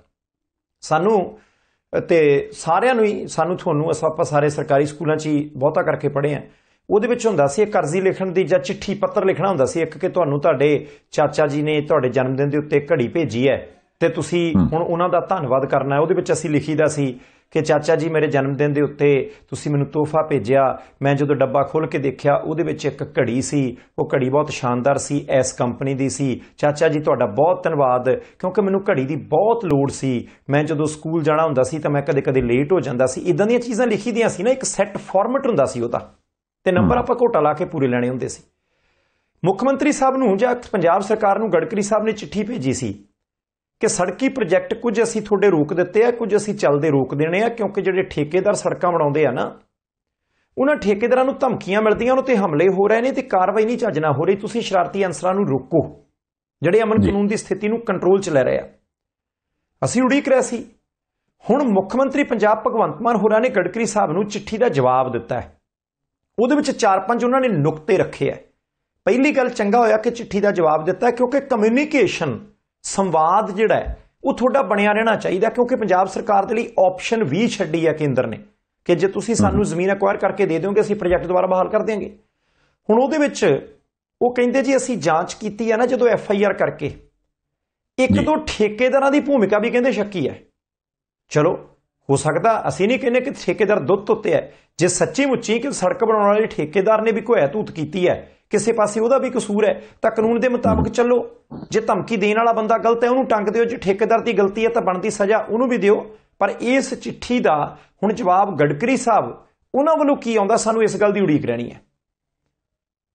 ਵੇਖੋ, ਮੈਂ ਨਾ ਚੰਗੀ ਗੱਲ ਹੈ ਜੇ ਮੁੱਖ ਮੰਤਰੀ ਸਾਹਿਬ ਨੇ ਇਹ ਗੱਲਾਂ ਲਿਖੀਆਂ ਉਹਦੇ ਵਿੱਚ। ਇੱਕ ਤਾਂ ਚਲੋ ਉਹਨਾਂ ਨੇ ਠੇਕੇਦਾਰ ਵਾਲੀ ਗੱਲ ਕਰ ਦਿੱਤੀ, ਨਾਲ ਉਹਨਾਂ ਇਹ ਵੀ ਕਹਿਤਾ ਵੀ ਦੇਖੋ ਜੀ ਪੈਟਰੋਲਿੰਗ ਜਿਹੜੀ ਹੈ, ਉਹਦੇ ਵੀ ਹੁਕਮ ਹੋ ਗਿਆ। ਮਤਲਬ ਇਹ ਕਿ ਜਿੱਥੇ ਜਿੱਥੇ ਵੀ ਇਹ ਸੜਕਾਂ ਦਾ ਪ੍ਰੋਜੈਕਟ ਚੱਲਦਾ, ਉੱਥੇ ਲਗਾਤਾਰ ਜਿਹੜਾ ਲੋਕਲ ਥਾਣਾ, ਉਹਦੀ ਪੁਲਿਸ ਤੋਂ ਜਾਂ ਉਹਦੀ ਜਿਹੜੀ ਗੱਡੀ ਹੈ ਪੁਲਿਸ ਵਾਲਿਆਂ ਦੀ, ਉਹ ਉੱਥੇ ਗੇੜਾ ਮਾਰਦੀ ਰਿਹਾ ਕਰੂਗੀ। ਤਾਂ ਜੋ ਇੱਕ ਤੇ ਉਹਨਾਂ ਨੂੰ ਥੋੜਾ ਜਿਹਾ ਫਿਕਰ ਰਵੇ ਵੀ ਯਾਰ ਸਾਡੇ ਤੇ ਕੋਈ ਬੰਦੇ ਨਜ਼ਰ ਰੱਖਦੇ। ਦੂਜਾ ਜੇ ਉਹਨਾਂ ਨੂੰ ਕੋਈ ਮੁਸ਼ਕਲ ਹੋਵੇ ਤੇ ਉਹ ਉੱਥੇ ਪੁਲਿਸ ਨੂੰ ਮੌਕੇ ਤੇ ਦੱਸ ਸਕਣ। ਤੀਜੀ ਗੱਲ ਜਿਹੜੀ ਮੇਰਾ ਖਿਆਲ ਉਹਨਾਂ ਨੇ ਉਹਦੇ ਵਿੱਚ ਐਡ ਕੀਤੀ ਹੈ ਵੀ ਖਾਸ ਕਰਕੇ ਜ਼ਮੀਨਾਂ ਵਾਲੀ, ਉਹ ਮੈਨੂੰ ਲੱਗਦਾ ਵੀ ਹੋ ਸਕਦਾ ਅਸਲ ਮੁੱਦਾ ਉਹ ਆ ਜਿਹੜਾ ਹੋ ਸਕਦਾ ਆਉਣ ਵਾਲੇ ਦਿਨਾਂ ਦੇ ਵਿੱਚ ਹੱਲ ਹੋ ਜਵੇ, ਕਿਉਂਕਿ ਉਹਨਾਂ ਕਿਹਾ ਵੀ ਪੰਜਾਬ 'ਚ ਜ਼ਮੀਨਾਂ ਮਹਿੰਗੀਆਂ ਨੇ ਤੇ ਉਹਨਾਂ ਦਾ ਜਿਹੜਾ ਰੇਟ ਆ ਉਸ ਹਿਸਾਬ ਨਾਲ ਹੋਣਾ ਚਾਹੀਦਾ ਤੇ ਜੇ ਉਸ ਤਰ੍ਹਾਂ ਦੀ ਕੋਈ ਨੀਤੀ ਬਣਦੀ ਆ ਤੇ ਫਿਰ ਕਿਸੇ ਨੂੰ ਜ਼ਮੀਨ ਦੇਣ 'ਚ ਪ੍ਰੋਬਲਮ ਹੀ ਕੋਈ ਨਹੀਂ। ਤੇ ਰਹੀ ਗੱਲ ਜ਼ਮੀਨ ਆਲਰੇਡੀ ਜਿਹੜੀ ਲਈ ਸੀ ਤੇ ਉਹਦੇ ਤੇ ਜਿਹੜਾ ਉਜਰ ਇਤਰਾਜ਼ ਆਉਂਦਾ ਸੀ ਐਨਐਚਆਈਐਲ ਵੱਲੋਂ ਵੀ ਮਹਾਰਾਜ ਜ਼ਮੀਨ ਦੇ ਪੈਸੇ ਵੀ ਦਿੱਤੇ ਗਏ, ਉਹਦੇ ਬਾਵਜੂਦ ਵੀ ਫਸਲ ਬੀਜੀ ਹੈ ਗੱਲ ਇਹ ਉਹ ਕਹਿੰਦੇ ਵੀ ਜਦੋਂ ਜ਼ਮੀਨ ਦੇ ਤੁਸੀਂ ਪੈਸੇ ਦੇਤੇ, ਇਹ ਤੇ ਹੁਣ ਆਪਾਂ ਜੇ ਵੈਸੇ ਗੱਲ ਕਰ ਲਈਏ ਵੀ ਅਗਲਾ ਬੰਦਾ ਆਖੇ ਜੀ ਫਲਾਣਾ ਤੂੰ ਇੱਥੋਂ ਪਲਾਟ ਲਿਆ, ਉਹ ਕਹਿੰਦੇ ਜੀ ਲੈ ਲਿਆ। ਉਹ ਪਲਾਟ ਲੈ ਕੇ ਉਹਨੂੰ ਵੜਨਾ ਤੇ ਤੁਸੀਂ ਹੈ ਨਾ, ਜੇ ਮੰਨ ਲਓ ਤੁਸੀਂ ਪੈਸੇ ਦੇਤੇ ਆ ਤੇ ਹੁਣ ਪਲਾਟ ਦਾ ਕਬਜ਼ਾ ਵੀ ਤੇ ਤੁਸੀਂ ਲੈਣਾ ਨਾ। ਵੀ ਉਹ ਚਿੱਠੀ ਮੁਤਾਬਕ ਮੁੱਖ ਮੰਤਰੀ ਸਾਹਿਬ ਨੇ ਕਿਹਾ ਕਿ ਵੀ ਇਹ ਐਨਐਚਆਈ ਵਾਲਿਆਂ ਦੀ ਜ਼ਿੰਮੇਵਾਰੀ ਹੈ ਜੀ ਪੋਜੈਸ਼ਨ ਉਹਨਾਂ ਨੇ ਲੈਣਾ। ਮੈਨੂੰ ਲੱਗਦਾ ਵੀ ਇਹਦੇ ਤੇ ਵੀ ਹੋ ਸਕਦਾ ਕੋਈ ਨਾ ਕੋਈ ਜਵਾਬ ਅਗਲੇ ਬੰਦੇ ਦੇਣ। ਕਿਉਂਕਿ ਹੋ ਸਕਦਾ ਗਡਕਰੀ ਸਾਹਿਬ ਕਹਿਣ ਵੀ ਮਹਾਰਾਜ ਐਨਐਚਆਈ ਵਾਲਿਆਂ ਕੋਲੇ ਕਿਹੜਾ ਕੋਈ ਪੁਲਿਸ ਮਹਿਕਮਾ? ਇਹ ਤਾਂ ਹੁਣ ਜਿਹੜਾ ਸਟੇਟ ਹੈ ਜੀ, ਉਹਨੇ ਦੇਖਣਾ। ਜੇ ਤੇ ਇੱਥੇ ਜੇ ਕੋਈ ਨਾ ਕੋਈ ਤਹਿ ਬਹਿ ਗਈ, ਤੇ ਫਿਰ ਆਸ ਆਪਾਂ ਕਰ ਸਕਦੇ ਹਾਂ ਕਿ ਪੰਜਾਬ ਦੇ ਵਿੱਚ ਜਿਹੜੇ ਸੜਕ- ਸੜਕੀ ਪ੍ਰੋਜੈਕਟ ਨੇ, ਜਿਨ੍ਹਾਂ ਦੇ ਰੱਦ ਕਰਨ ਦੀ ਜਾਂ ਰੱਦ ਹੋਣ ਦੀ ਸੰਭਾਵਨਾ ਆ, ਉਹ ਸਾਰਾ ਕੁਝ ਨਾ ਹੋਊਗਾ ਤੇ ਪੰਜਾਬ ਦੇ ਵਿੱਚ ਉਹ ਜਿਹੜੇ ਸੜਕੀ ਪ੍ਰੋਜੈਕਟ ਨੇ, ਉਸੇ ਤਰ੍ਹਾਂ ਲਾਗੂ ਹੋ ਜਾਣਗੇ। ਚੰਗੀ ਗੱਲ ਇਹੀ ਹੈ ਕਿ ਵੀ ਜਿਹੜਾ ਚਿੱਠੀ ਦਾ ਆਦਾਨ ਪ੍ਰਦਾਨ ਹੋਇਆ, ਕਿਉਂਕਿ ਜੇ ਇੱਥੇ ਦੜ ਵੱਟ ਜਾਂਦੀ, ਪੰਜਾਬ ਸਰਕਾਰ ਚੁੱਪ ਕੀਤੀ ਰਹਿੰਦੀ ਜਾਂ ਉਹਦਾ ਕੋਈ ਜਵਾਬ ਨਾ ਦਿੰਦੇ ਫਿਰ ਲਟਕ ਜਾਣੀ ਸੀ ਕਹਾਣੀ, ਫਿਰ ਆਮ ਤੌਰ ਤੇ ਖਬਰ ਆਉਂਦੀ ਹੁੰਦੀ ਮਹੀਨੇ ਕੁ ਬਾਅਦ। ਦੂਸਰੀ ਚਿੱਠੀ ਨਿਤਨ ਗਟਕਰੀ ਵੱਲੋਂ ਲਿਖੀ ਗਈ ਜੀ, ਉਹਨਾਂ ਨੇ ਉਹਦੇ ਵਿੱਚ ਆਹ ਕਿਹਾ ਜੀ, ਪਹਿਲੀ ਚਿੱਠੀ ਤੁਸੀਂ ਦੱਸਿਆ ਕੁਛ ਨਹੀਂ। ਇਸ ਕਰਕੇ ਆ ਲਓ ਜੀ, ਅਸੀਂ ਹੁਣ ਇਹ ਕੰਮ ਬਿਲਕੁਲ ਹੀ ਰੱਦ ਕਰ ਦਿੰਦੇ ਆ ਉਹ ਕੰਮ ਅੱਗੇ ਜਾ ਕੇ ਪੰਜਾਬ ਸਰਕਾਰ ਨੂੰ ਮਹਿੰਗਾ ਪੈ ਸਕਦਾ ਸੀ, ਚੰਗਾ ਕੀਤਾ। ਰਿਕਾਰਡ ਦੇ ਤੌਰ ਤੇ ਚਿੱਠੀ ਇੱਕ ਗਟਕਰੀ ਸਾਹਿਬ ਨੇ ਕੱਲੀ ਸੀ। ਉਸੇ ਦੇ ਰਿਕਾਰਡ ਦੇ ਤੌਰ ਤੇ ਆਪਣਾ ਇੱਕ ਬਣਦਾ ਜਵਾਬ ਪੰਜਾਬ ਸਰਕਾਰ ਨੇ ਕੱਲ ਦਿੱਤਾ। ਕੱਲ ਨੂੰ ਜੇ ਮੰਨ ਲਓ ਪ੍ਰੋਜੈਕਟ ਦੇ ਉੱਪਰ ਕੋਈ ਵੀ ABCD ਹੁੰਦੀ ਹੈ ਤੇ ਉਹਦੇ ਤੇ ਘੱਟੋ ਘੱਟ ਇਹ ਕਹਿਣ ਵਾਲੇ ਬਣਨਗੇ ਜੀ ਵੀ ਤੁਸੀਂ ਆਹ ਕਿਹਾ ਸੀ ਅਸੀਂ ਇਹਦਾ ਜਵਾਬ ਦਿੱਤਾ ਤੁਸੀਂ ਆਹ ਦੋਸ਼ ਲਾਏ ਸੀ ਅਸੀਂ ਉਹਦਾ ਹੱਲ ਦੱਸਤਾ ਸੀ। ਉਸ ਤੋਂ ਬਾਅਦ ਆਹ ਸਾਡੀਆਂ ਕੁਝ ਇੱਕ ਕਹਿ ਲਓ ਕਿ ਵੀ ਕਮੀਆਂ ਪੇਸ਼ੀਆਂ ਸੀ ਉਹਨਾਂ ਨੂੰ ਅਸੀਂ ਦੂਰ ਕਰ ਲਿਆ ਤੇ ਆਹ ਕੁਝ ਇੱਕ ਤੁਹਾਡੇ ਬਣਦੇ ਫਰਜ਼ ਸੀ ਜਿਹੜੇ ਤੁਸੀਂ ਨਿਭਾਉਣੇ ਸੀ ਤੁਸੀਂ ਨਿਭਾਏ ਕਿ ਨਹੀਂ ਨਿਭਾਏ। ਸੋ ਮੈਨੂੰ ਲੱਗਦਾ ਵੀ ਆਉਣ ਵਾਲੇ ਦਿਨਾਂ 'ਚ ਹੋ ਸਕਦਾ ਵੀ ਸੜਕਾਂ ਜਿਹੜੀਆਂ ਬ੍ਰੇਕਾਂ ਲੱਗਣ ਦੀ ਆਸ ਸੀਗੀ ਸ਼ਾਇਦ ਉਹ ਨਾ ਲੱਗੇ। ਸੰਧਾਲੀਆ ਸਾਹਿਬ। ਇਹਦੇ ਤੋਂ ਪਹਿਲਾਂ ਕਿ ਆਪਾਂ ਗੁਰਮੀਤ ਰਾਮ ਰਹੀਮ ਤੇ ਆਸਾਰਾਮ ਵਾਲੇ ਪਾਸੇ ਚਲੀਏ। ਵਿਨੇਸ਼ ਫੋਗਾਟ ਨੂੰ ਮੈਡਲ ਮਿਲੇਗਾ ਜਾਂ ਨਹੀਂ ਮਿਲੇਗਾ ਚਾਂਦੀ ਦਾ ਮੈਡਲ ਉਹਦੇ ਬਾਰੇ ਫੈਸਲਾ ਕਰਨਾ ਸੀ 올림픽 ਕਮੇਟੀ ਨੇ ਪਰ ਉਹਨੂੰ 16 ਤਰੀਕ ਤੱਕ ਟਾਲ ਦਿੱਤਾ ਗਿਆ ਜਾਣੀ ਅਜੇ ਵੀ ਨਾ ਤਾਂ ਹਾਂ ਕੀਤੀ ਗਈ ਹੈ ਤੇ ਨਾ ਨਾ ਕੀਤੀ ਗਈ ਹੈ ਇਹਦਾ ਮਤਲਬ ਹੈ ਕਿ ਗੰਭੀਰਤਾ ਦੇ ਨਾਲ ਇਸ ਮੁੱਦੇ ਤੇ ਵਿਚਾਰ ਚਰਚਾ ਹੋ ਰਹੀ ਹੈ ਇਹਦਾ ਮਤਲਬ ਹੈ ਕਿ ਭਾਰਤ ਨੂੰ ਅਜੇ ਵੀ ਚਾਂਦੀ ਦਾ ਮੈਡਲ ਜਿਹੜਾ ਲੰਘੀਆਂ ਪੈਰਿਸ 올림픽 ਖੇਡਾਂ ਦੇ ਵਿੱਚ ਮਿਲ ਸਕਦਾ ਮੈਨੂੰ ਸੀ ਕਿ ਇੰਨੀ ਅਪਡੇਟ ਆਪਾਂ ਜਿਹੜੀ ਹੈ ਆਪਣੇ ਪ੍ਰਾਈਮੇਸ਼ੀਆ ਟੀਵੀ ਦੇ ਪਰਿਵਾਰ ਦੇ ਮੈਂਬਰਾਂ ਨੂੰ ਜ਼ਰੂਰ ਦੇ ਦਈਏ ਨਹੀਂ ਆਸ ਬਾਟ ਸਾਹਿਬ। ਮੈਨੂੰ ਲੱਗਦਾ ਵੀ ਇਹਦੇ ਵਿੱਚ ਆਸ ਬਹੁਤਾ ਕਰਕੇ ਪੋਜ਼ਿਟਿਵ ਰੱਖਣੀ ਚਾਹੀਦੀ ਹੈ ਕਿਉਂਕਿ ਇੱਕ ਗੱਲ। ਤੇ ਹੈਗੀ ਹੈ ਵੀ ਉਸ ਕੁੜੀ ਨੇ ਮਿਹਨਤ ਬਹੁਤ ਕੀਤੀ ਵਾਲ ਕਟਾਏ ਲਹੂ ਕਢਾਇਆ ਕਿੰਨਾ ਭਾਰ ਘਟਾਇਆ ਸਾਰੀ ਰਾਤ ਸੁੱਤੀ ਨਹੀਂ ਜਿਹੜੀ ਵਰਲਡ ਚੈਂਪੀਅਨ ਸੀ ਉਸ ਤੋਂ ਪਹਿਲਾਂ ਉਹਨੂੰ ਹਰਾਇਆ ਲਗਾਤਾਰ ਮੈਚ ਉਹ ਜਿੱਤਦੀ ਰਹੀ ਤੇ ਬਾਅਦ ਦੇ ਵਿੱਚ 100 ਕੁ ਗ੍ਰਾਮ ਤੇ ਕੋਈ ਖਾਸ ਨਹੀਂ ਹੁੰਦਾ ਨਾ ਹਾਂ ਅੱਧਾ ਕਿਲੋ ਪੌਣਾ ਕਿਲੋ ਕਿਲੋ ਭਾਰ ਦੀ ਗੱਲ ਹੋਵੇ ਫਿਰ ਤੇ ਅਗਲੇ ਬੰਦੇ ਕਹਿ ਸਕਦੇ ਜੀ ਇੰਨਾ ਥੋੜਾ ਫ਼ਰਕ ਪਾ ਸਕਦੇ 100 ਗ੍ਰਾਮ ਤੇ ਕੋਈ ਚੀਜ਼ ਵੀ ਨਹੀਂ ਹੁੰਦੀ ਉਹਦੇ ਤੇ ਮੈਨੂੰ ਲੱਗਦਾ ਕਿ ਬਹੁਤਾ ਕਰਕੇ ਚਾਂਸਸ ਤਾਂ ਹੈਗੇ ਆ। ਜੇ ਅਗਲੇ ਬੰਦੇ ਟਾਈਮ ਲੈ ਰਹੇ ਨੇ ਤੇ ਉਹਨਾਂ ਨੂੰ ਲੱਗਦਾ ਹੋਵੇ ਕਿ ਯਾਰ ਐਵੇਂ ਖਿਡਾਰੀ ਦੀ ਜ਼ਿੰਦਗੀ ਨਾ ਆਪਾਂ ਖਤਮ ਕਰ ਦਈਏ, ਕਿਉਂਕਿ ਵੈਸੇ ਵੀ ਵਿਨੇਸ਼ ਫੋਗਾਟ ਨੇ ਜਿੱਦਾਂ ਕਿਹਾ ਵੀ ਮੈਂ ਸੰਨਿਆਸ ਹੀ ਲੈ ਲੈਣਾ। ਇਹ ਵੀ ਇੱਕ ਕਿਸੇ ਵੇਲੇ ਫੈਕਟਰ ਹੁੰਦਾ ਹਮਦਰਦੀ ਦਾ ਵੀ ਯਾਰ ਹੁਣ ਤੇ ਕੁੜੀ ਨੇ ਕਹਿਤਾ ਵੀ ਮੈਂ ਕੁਸ਼ਤੀ ਨਹੀਂ ਗਾਂ ਲੜਨੀ। ਤੇ ਇਹ ਨਾ ਹੋਵੇ ਕਿ ਉਹਦੀ ਸਾਰੀ ਉਮਰ ਇਸੇ ਚੀਜ਼ 'ਚ ਰਹਿ ਜੇ ਕਿ ਇੱਕ ਮੇਰਾ ਮੈਡਲ ਬਣਦਾ ਸੋ ਹੀ ਮੈਨੂੰ ਦਿੱਤਾ ਨਹੀਂ ਦੇਖੋ ਸੰਧਾਲੀਆ ਸਾਹਿਬ, ਨਿਯਮ ਜਿਹੜਾ ਨਾ, ਰੂਲ, ਇਹ ਤਾਂ 100 ਗ੍ਰਾਮ ਆ ਉਹ 1 ਗ੍ਰਾਮ ਭਾਰ ਵਾਧੇ ਦੀ ਵੀ ਆਗਿਆ ਨਹੀਂ ਦਿੰਦਾ, ਪਹਿਲੀ ਗੱਲ। ਦੂਸਰੀ ਗੱਲ ਵਿਨੇਸ਼ ਫਗਾਟ ਨੇ ਹੁਣ ਜਿਹੜਾ ਬੇਸ ਬਣਾਇਆ ਨਾ ਇਸ ਗੱਲ ਨੂੰ ਬਣਾਇਆ ਕਿ ਮੈਂ ਸੈਮੀ ਫਾਈਨਲ ਦੇ ਵਿੱਚ ਮੇਰਾ ਭਾਰ 50 ਕਿਲੋ ਤੋਂ ਘੱਟ ਸੀ। ਮੈਂ 50 ਕਿਲੋਗ੍ਰਾਮ ਕੈਟਾਗਰੀ ਦੇ ਵਿੱਚ ਖੇਡਦੀ ਸੀ। ਮੈਂ ਸੈਮੀ ਫਾਈਨਲ ਜਿੱਤ ਕੇ ਫਾਈਨਲ 'ਚ ਪਹੁੰਚੀ ਆ ਇਸ ਕਰਕੇ ਠੀਕ ਹੈ ਫਾਈਨਲ 'ਚ ਮੇਰਾ ਭਾਰ ਵੱਧ ਗਿਆ ਮੈਨੂੰ 골ਡ ਨਾ ਦਿਓ ਚਾਂਦੀ ਤਾਂ ਮੇਰੀ ਬਣਦੀ ਹੈ। ਉਹਦੇ ਵਿੱਚ ਲੌਜੀਕ ਹੈ। ਹਾਂ। ਓਲੰਪਿਕ ਦੇ ਬਹੁਤ ਸਾਰੇ ਨਿਯਮ ਤਬਦੀਲ ਹੁੰਦੇ ਰਹੇ ਆ। ਮੈਨੂੰ ਇਹ ਲੱਗਦਾ ਕਿ ਵਿਨੇਸ਼ ਫਗਾਟ ਕਿਤੇ ਨਾ ਕਿਤੇ ਬਹੁਤ ਸਾਰੀਆਂ ਤਬਦੀਲੀਆਂ ਦਾ ਮੁੱਢ ਬਣ ਸਕਦੀ ਹੈ ਇਸ ਕੇਸ ਨੂੰ ਅੱਗੇ ਲਿਜਾ ਕੇ। ਬਾਕੀ ਆਪਾਂ ਦੇਖਦੇ ਹਾਂ 16 ਤਰੀਕ ਨੂੰ ਫੈਸਲਾ ਜਿਹੜਾ ਉਹ ਆ ਜਾਊਗਾ। ਹੁਣ ਚੱਲਦੇ ਗੁਰਮੀਤ ਰਾਮ ਰਹੀਮ ਵੱਲ ਡੇਰਾ ਸਿਰਸਾ ਦਾ ਮੁਖੀ ਰੋਤਕ ਦੀ ਸੁਨਾਰੀਆ ਜੇਲ੍ਹ ਦੇ ਵਿੱਚ ਬੰਦ। ਉਹ ਫਰਲੋ ਤੇ ਪੈਰੋਲ ਮੰਗਦਾ ਸੀ। ਉਹਨੇ ਪਿੱਛੇ ਕਿਹਾ ਸੀ ਕਿ ਭੰਡਾਰਾ ਹੁੰਦਾ ਜੀ, ਬਹੁਤ ਵੱਡਾ ਮੇਰਾ ਜਾਣਾ ਬੜਾ ਜ਼ਰੂਰੀ ਹੈ ਜੀ, ਉੱਥੇ ਉਹਦੇ ਤੋਂ ਬਿਨਾ ਸਰਨਾ ਨਹੀਂ। ਐਸਜੀਪੀਸੀ ਵਾਲਿਆਂ ਨੇ ਪਟੀਸ਼ਨ ਪਾਈ ਸੀ ਕਿ ਬੰਦੇ ਨੂੰ ਬਾਹਰ ਨਾ ਕੱਢਿਓ। ਐਸਜੀਪੀਸੀ ਦੀ ਪਟੀਸ਼ਨ ਤੇ ਹੀ ਹਾਈ ਕੋਰਟ ਨੇ ਕਹਿਤਾ ਸੀ ਹਰਿਆਣਾ ਸਰਕਾਰ ਨੂੰ ਕਿ ਆਪਣੇ ਪੱਧਰ ਦੇ ਉੱਤੇ ਪੈਰੋਲ ਨਾ ਦੇ ਦਿਓ। ਹੁਣ ਪਿਛਲੇ ਦਿਨੀ, ਦੋ ਕੁ ਦਿਨ ਪਹਿਲਾਂ ਐਸਜੀਪੀਸੀ ਦੁਆਰਾ ਪਾਈ ਗਈ ਪਟੀਸ਼ਨ ਦਾ ਨਿਪਟਾਰਾ ਕਰਤਾ ਹੈ ਤੇ ਉਹਦੇ ਵਿੱਚ ਸੂਬਾ ਸਰਕਾਰਾਂ ਨੂੰ ਵੀ ਬਹੁਤੇ ਅਧਿਕਾਰ ਦਿੱਤੇ ਆ ਕਿ ਤੁਸੀਂ ਆਪਣੀ ਬੁੱਧੀ ਤੇ ਵਿਵੇਕ ਦੇ ਮੁਤਾਬਕ ਫੈਸਲਾ ਕਰਨਾ ਹੈ, ਜੇਲ੍ਹ ਪ੍ਰਸ਼ਾਸਨ ਦੀ ਰਿਪੋਰਟ ਦੇ ਮੁਤਾਬਕ ਫੈਸਲਾ ਕਰਨਾ ਹੈ, ਪਰ ਇਹ ਦੇਖ ਲੈਣਾ ਕਿ ਭਾਈ ਕਿਸੇ ਤਰ੍ਹਾਂ ਦਾ ਕੋਈ ਵਿਗਾੜ ਨਾ ਪੈਦਾ ਹੋਵੇ, ਜੇ ਕਿਸੇ ਨੂੰ ਫਰਲੋ ਜਾਂ ਪੈਰੋਲ ਦਿੱਤੀ ਜਾਂਦੀ ਹੈ। ਐਸਜੀਪੀਸੀ ਦੀ ਪਟੀਸ਼ਨ ਦਾ ਨਿਪਟਾਰਾ ਹੋ ਗਿਆ। ਤਣੀਆਂ ਸਾਰੀਆਂ ਹਰਿਆਣਾ ਸਰਕਾਰ ਦੇ ਹੱਥ ਆ ਗਈਆਂ। ਤੇ ਸੰਧਾਲੀਆ ਸਾਹਿਬ ਨਾਲ ਹੀ ਗੁਰਮੀਤ ਰਾਮ ਰਹੀਮ ਦੀ ਫਰਲੋ ਜਾਂ ਪੈਰੋਲ ਜਿਹੜੀ ਹੈ ਮਨਜ਼ੂਰ ਹੋ ਗਈ। ਸ਼ਰਤਾਂ ਉਹਦੇ ਤੇ ਲਾਤੀਆਂ ਗਈਆਂ ਕਿ ਤੂੰ ਹਰਿਆਣੇ ਵਾਲੇ ਮੁੱਖ ਡੇਰੇ 'ਚ ਨਹੀਂ ਆਉਣਾ, ਤੂੰ ਯੂਪੀ ਵਾਲੇ ਆਪਣੇ ਬਾਗਪਤ ਦੇ ਡੇਰੇ ਦੇ ਵਿੱਚ ਰਹਿਣਾ। ਦੋ ਚਾਰ ਸ਼ਰਤਾਂ ਹੋਰ ਹੋਣਗੀਆਂ, ਪਰ ਉਹਦੇ ਤੋਂ ਬਾਅਦ ਹੁਣ ਰੌਲਾ ਬੜਾ ਪੈ ਗਿਆ। ਰੌਲਾ ਪੈ ਗਿਆ, ਕਈ ਪਾਸਿਓਂ ਬਿਆਨ ਆਉਣ ਲੱਗ ਪਏ ਐਸਜੀਪੀਸੀ ਵੱਲੋਂ ਵੀ ਤੇ ਕੁਝ ਲੀਡਰਾਂ ਵੱਲੋਂ ਵੀ। ਦੇਖੋ, ਇੱਕ ਗੱਲ ਆ 15 ਤਰੀਕ ਨੂੰ ਮੇਰਾ ਖਿਆਲ ਉਹ ਵੀ ਆ ਨਾ ਰੱਖਿਆ ਜਿਹੜਾ ਜਨਮ ਦਿਨ ਵਾਲਾ ਪ੍ਰੋਗਰਾਮ ਬਾਬੇ ਨੇ।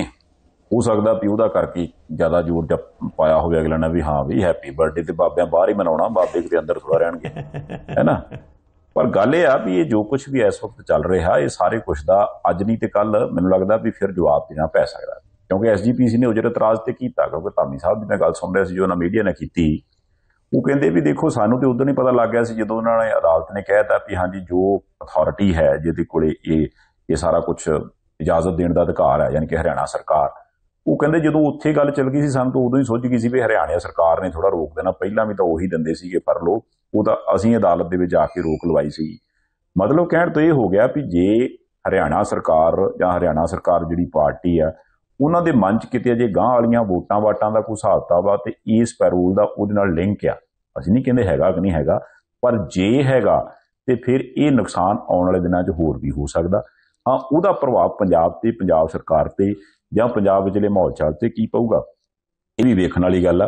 ਤੁਸੀਂ ਇਹ ਨੋਟ ਕਰੋ ਵੀ ਬਾਬਾ ਵੇਖ ਲਓ ਜਾਂਦਿਆਂ ਸਾਰੀ ਟੌਰ ਟੱਪਾ ਮਾਰ ਕੇ ਆਸ਼ੀਰਵਾਦ ਵੀ ਦੇਣ ਲੱਗ ਪੈਂਦਾ ਨਾਲੇ ਉਹ ਕਹਿੰਦਾ ਵੀ ਹਾਂ ਆਇਓ ਨਾ ਇੱਥੇ ਬਸ ਤੁਸੀਂ ਸੰਗਤੇ ਘਰੇ ਹੀ ਤੁਸੀਂ ਉੱਥੇ ਹੀ ਰਹਿਣਾ ਬਸ ਹੈ ਨਾ? ਇਹ ਮਤਲਬ ਇਹ ਹੋ ਗਿਆ ਵੀ ਜਦੋਂ ਮਰਜ਼ੀ ਬਾਬਾ ਬਾਹਰ ਵੀਡੀਓ ਤੇ ਆਸ਼ੀਰਵਾਦ ਤੇ ਭਗਤ ਪ੍ਰੇਮੀ ਖੁਸ਼ ਹੈ। ਨਹੀਂ ਸੰਧਾਲੀਆ ਸਾਹਿਬ ਜਦੋਂ ਬਾਬੇ ਨੇ ਕਹਿਤਾ ਕਿ ਆਇਓ ਨਾ ਦੱਸਣ ਹੀ ਹੁੰਦਾ ਕਿ ਮੈਂ ਆ ਗਿਆ। ਜਾਨੀ ਆ ਦੱਸਣ ਤੇ ਜਾਨੀ ਕਿ ਯਾਰ ਇਹ ਹੁੰਦਾ ਨਾ ਕਿ ਭਾਈ ਤਾੜੀ ਮਾਰ ਦੇਣੀ ਆ ਪਤਾ ਲੱਗ ਜੂ ਕਿ ਭਾਈ ਬੰਦਾ ਜਾਗ ਪਿਆ। ਚਲੋ। ਉਧਰ ਸੁਖਜਿੰਦਰ ਸਿੰਘ ਰੰਧਾਵਾ ਸਾਹਿਬ ਨੇ ਪੰਜਾਬ ਸਰਕਾਰ ਤੇ ਸਵਾਲ ਚੱਕ ਦਿੱਤੇ ਆ।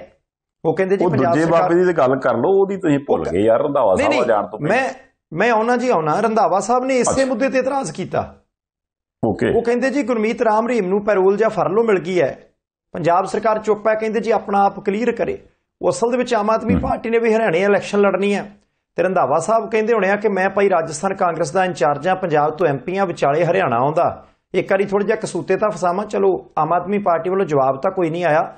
ਬਾਕੀ ਸੰਧਾਲੀਆ ਸਾਹਿਬ ਤੁਹਾਨੂੰ ਤਾਂ ਕਾਲ ਹੋਣੀ ਆ ਤੁਹਾਡੇ ਵਾਲੇ ਬੰਦਿਆਂ ਦੀ ਬੜੀ ਚਿਰ ਬਾਅਦ ਵਾਰੀ ਆਈ ਆ ਕੋਈ ਖਬਰ ਹੀ ਨਹੀਂ ਸੀ ਆਉਂਦੀ। ਆਸਾਰਾਮ ਜਿਹੜਾ ਕਦੇ ਕਹਿੰਦਾ ਸੀ ਜੀ ਮੈਂ ਫਲਾਣੀ ਜਗ੍ਹਾ ਤੋਂ ਹੀ ਜਾ ਕੇ ਇਲਾਜ ਕਰਾਉਣਾ ਫਲਾਣੀ ਡਾਕਟਰ ਤੋਂ ਹੀ ਜਾ ਕੇ ਇਲਾਜ ਕਰਾਉਣਾ ਮੇਰਾ ਸੂਤ ਹੀ ਫੇ ਆਉਂਦਾ ਉਹਨੂੰ ਕਹਿੰਦੇ ਆ ਕਿ ਥੋੜੀ ਜਿਹੀ ਰਾਹਤ ਮਿਲੀ ਆ। ਆਹੋ ਹੁਣ ਵੀ ਕਹਿੰਦੇ ਬਾਬਾ ਢਿੱਲਾ ਹੋ ਗਿਆ ਇਹ 7 ਦਿਨ ਦੇ ਲਈ ਉਹਦਾ ਇਲਾਜ ਕਰਨਾ ਹਸਪਤਾਲ ਲਿਜਾ ਕੇ। ਤੁਸੀਂ ਇਹ ਦੇਖੋ ਵੀ ਬੜੇ ਚਿਰ ਤੋਂ ਵੀ ਪੈਰੋਲ ਮੰਗਦਾ ਸੀ ਫਰਲੋ ਮੰਗਦਾ ਸੀ ਗੱਲ ਉਹਦੀ ਕਿਤੇ ਨਹੀਂ ਸੀ ਬਣੀ। ਮੈਂ ਇਹ ਤਾਂ ਗੱਲ ਕਰਦਾ ਵੀ ਪਹਿਲਾਂ ਇਹ ਜਿਹੜਾ ਮੇਰਾ ਖਿਆਲ 10ਵੀਂ ਵਾਰ ਤਾਂ ਸਿਰਸੇ ਵਾਲੇ ਨੂੰ ਮਿਲੀ ਨਾ ਪੈਰੋਲ।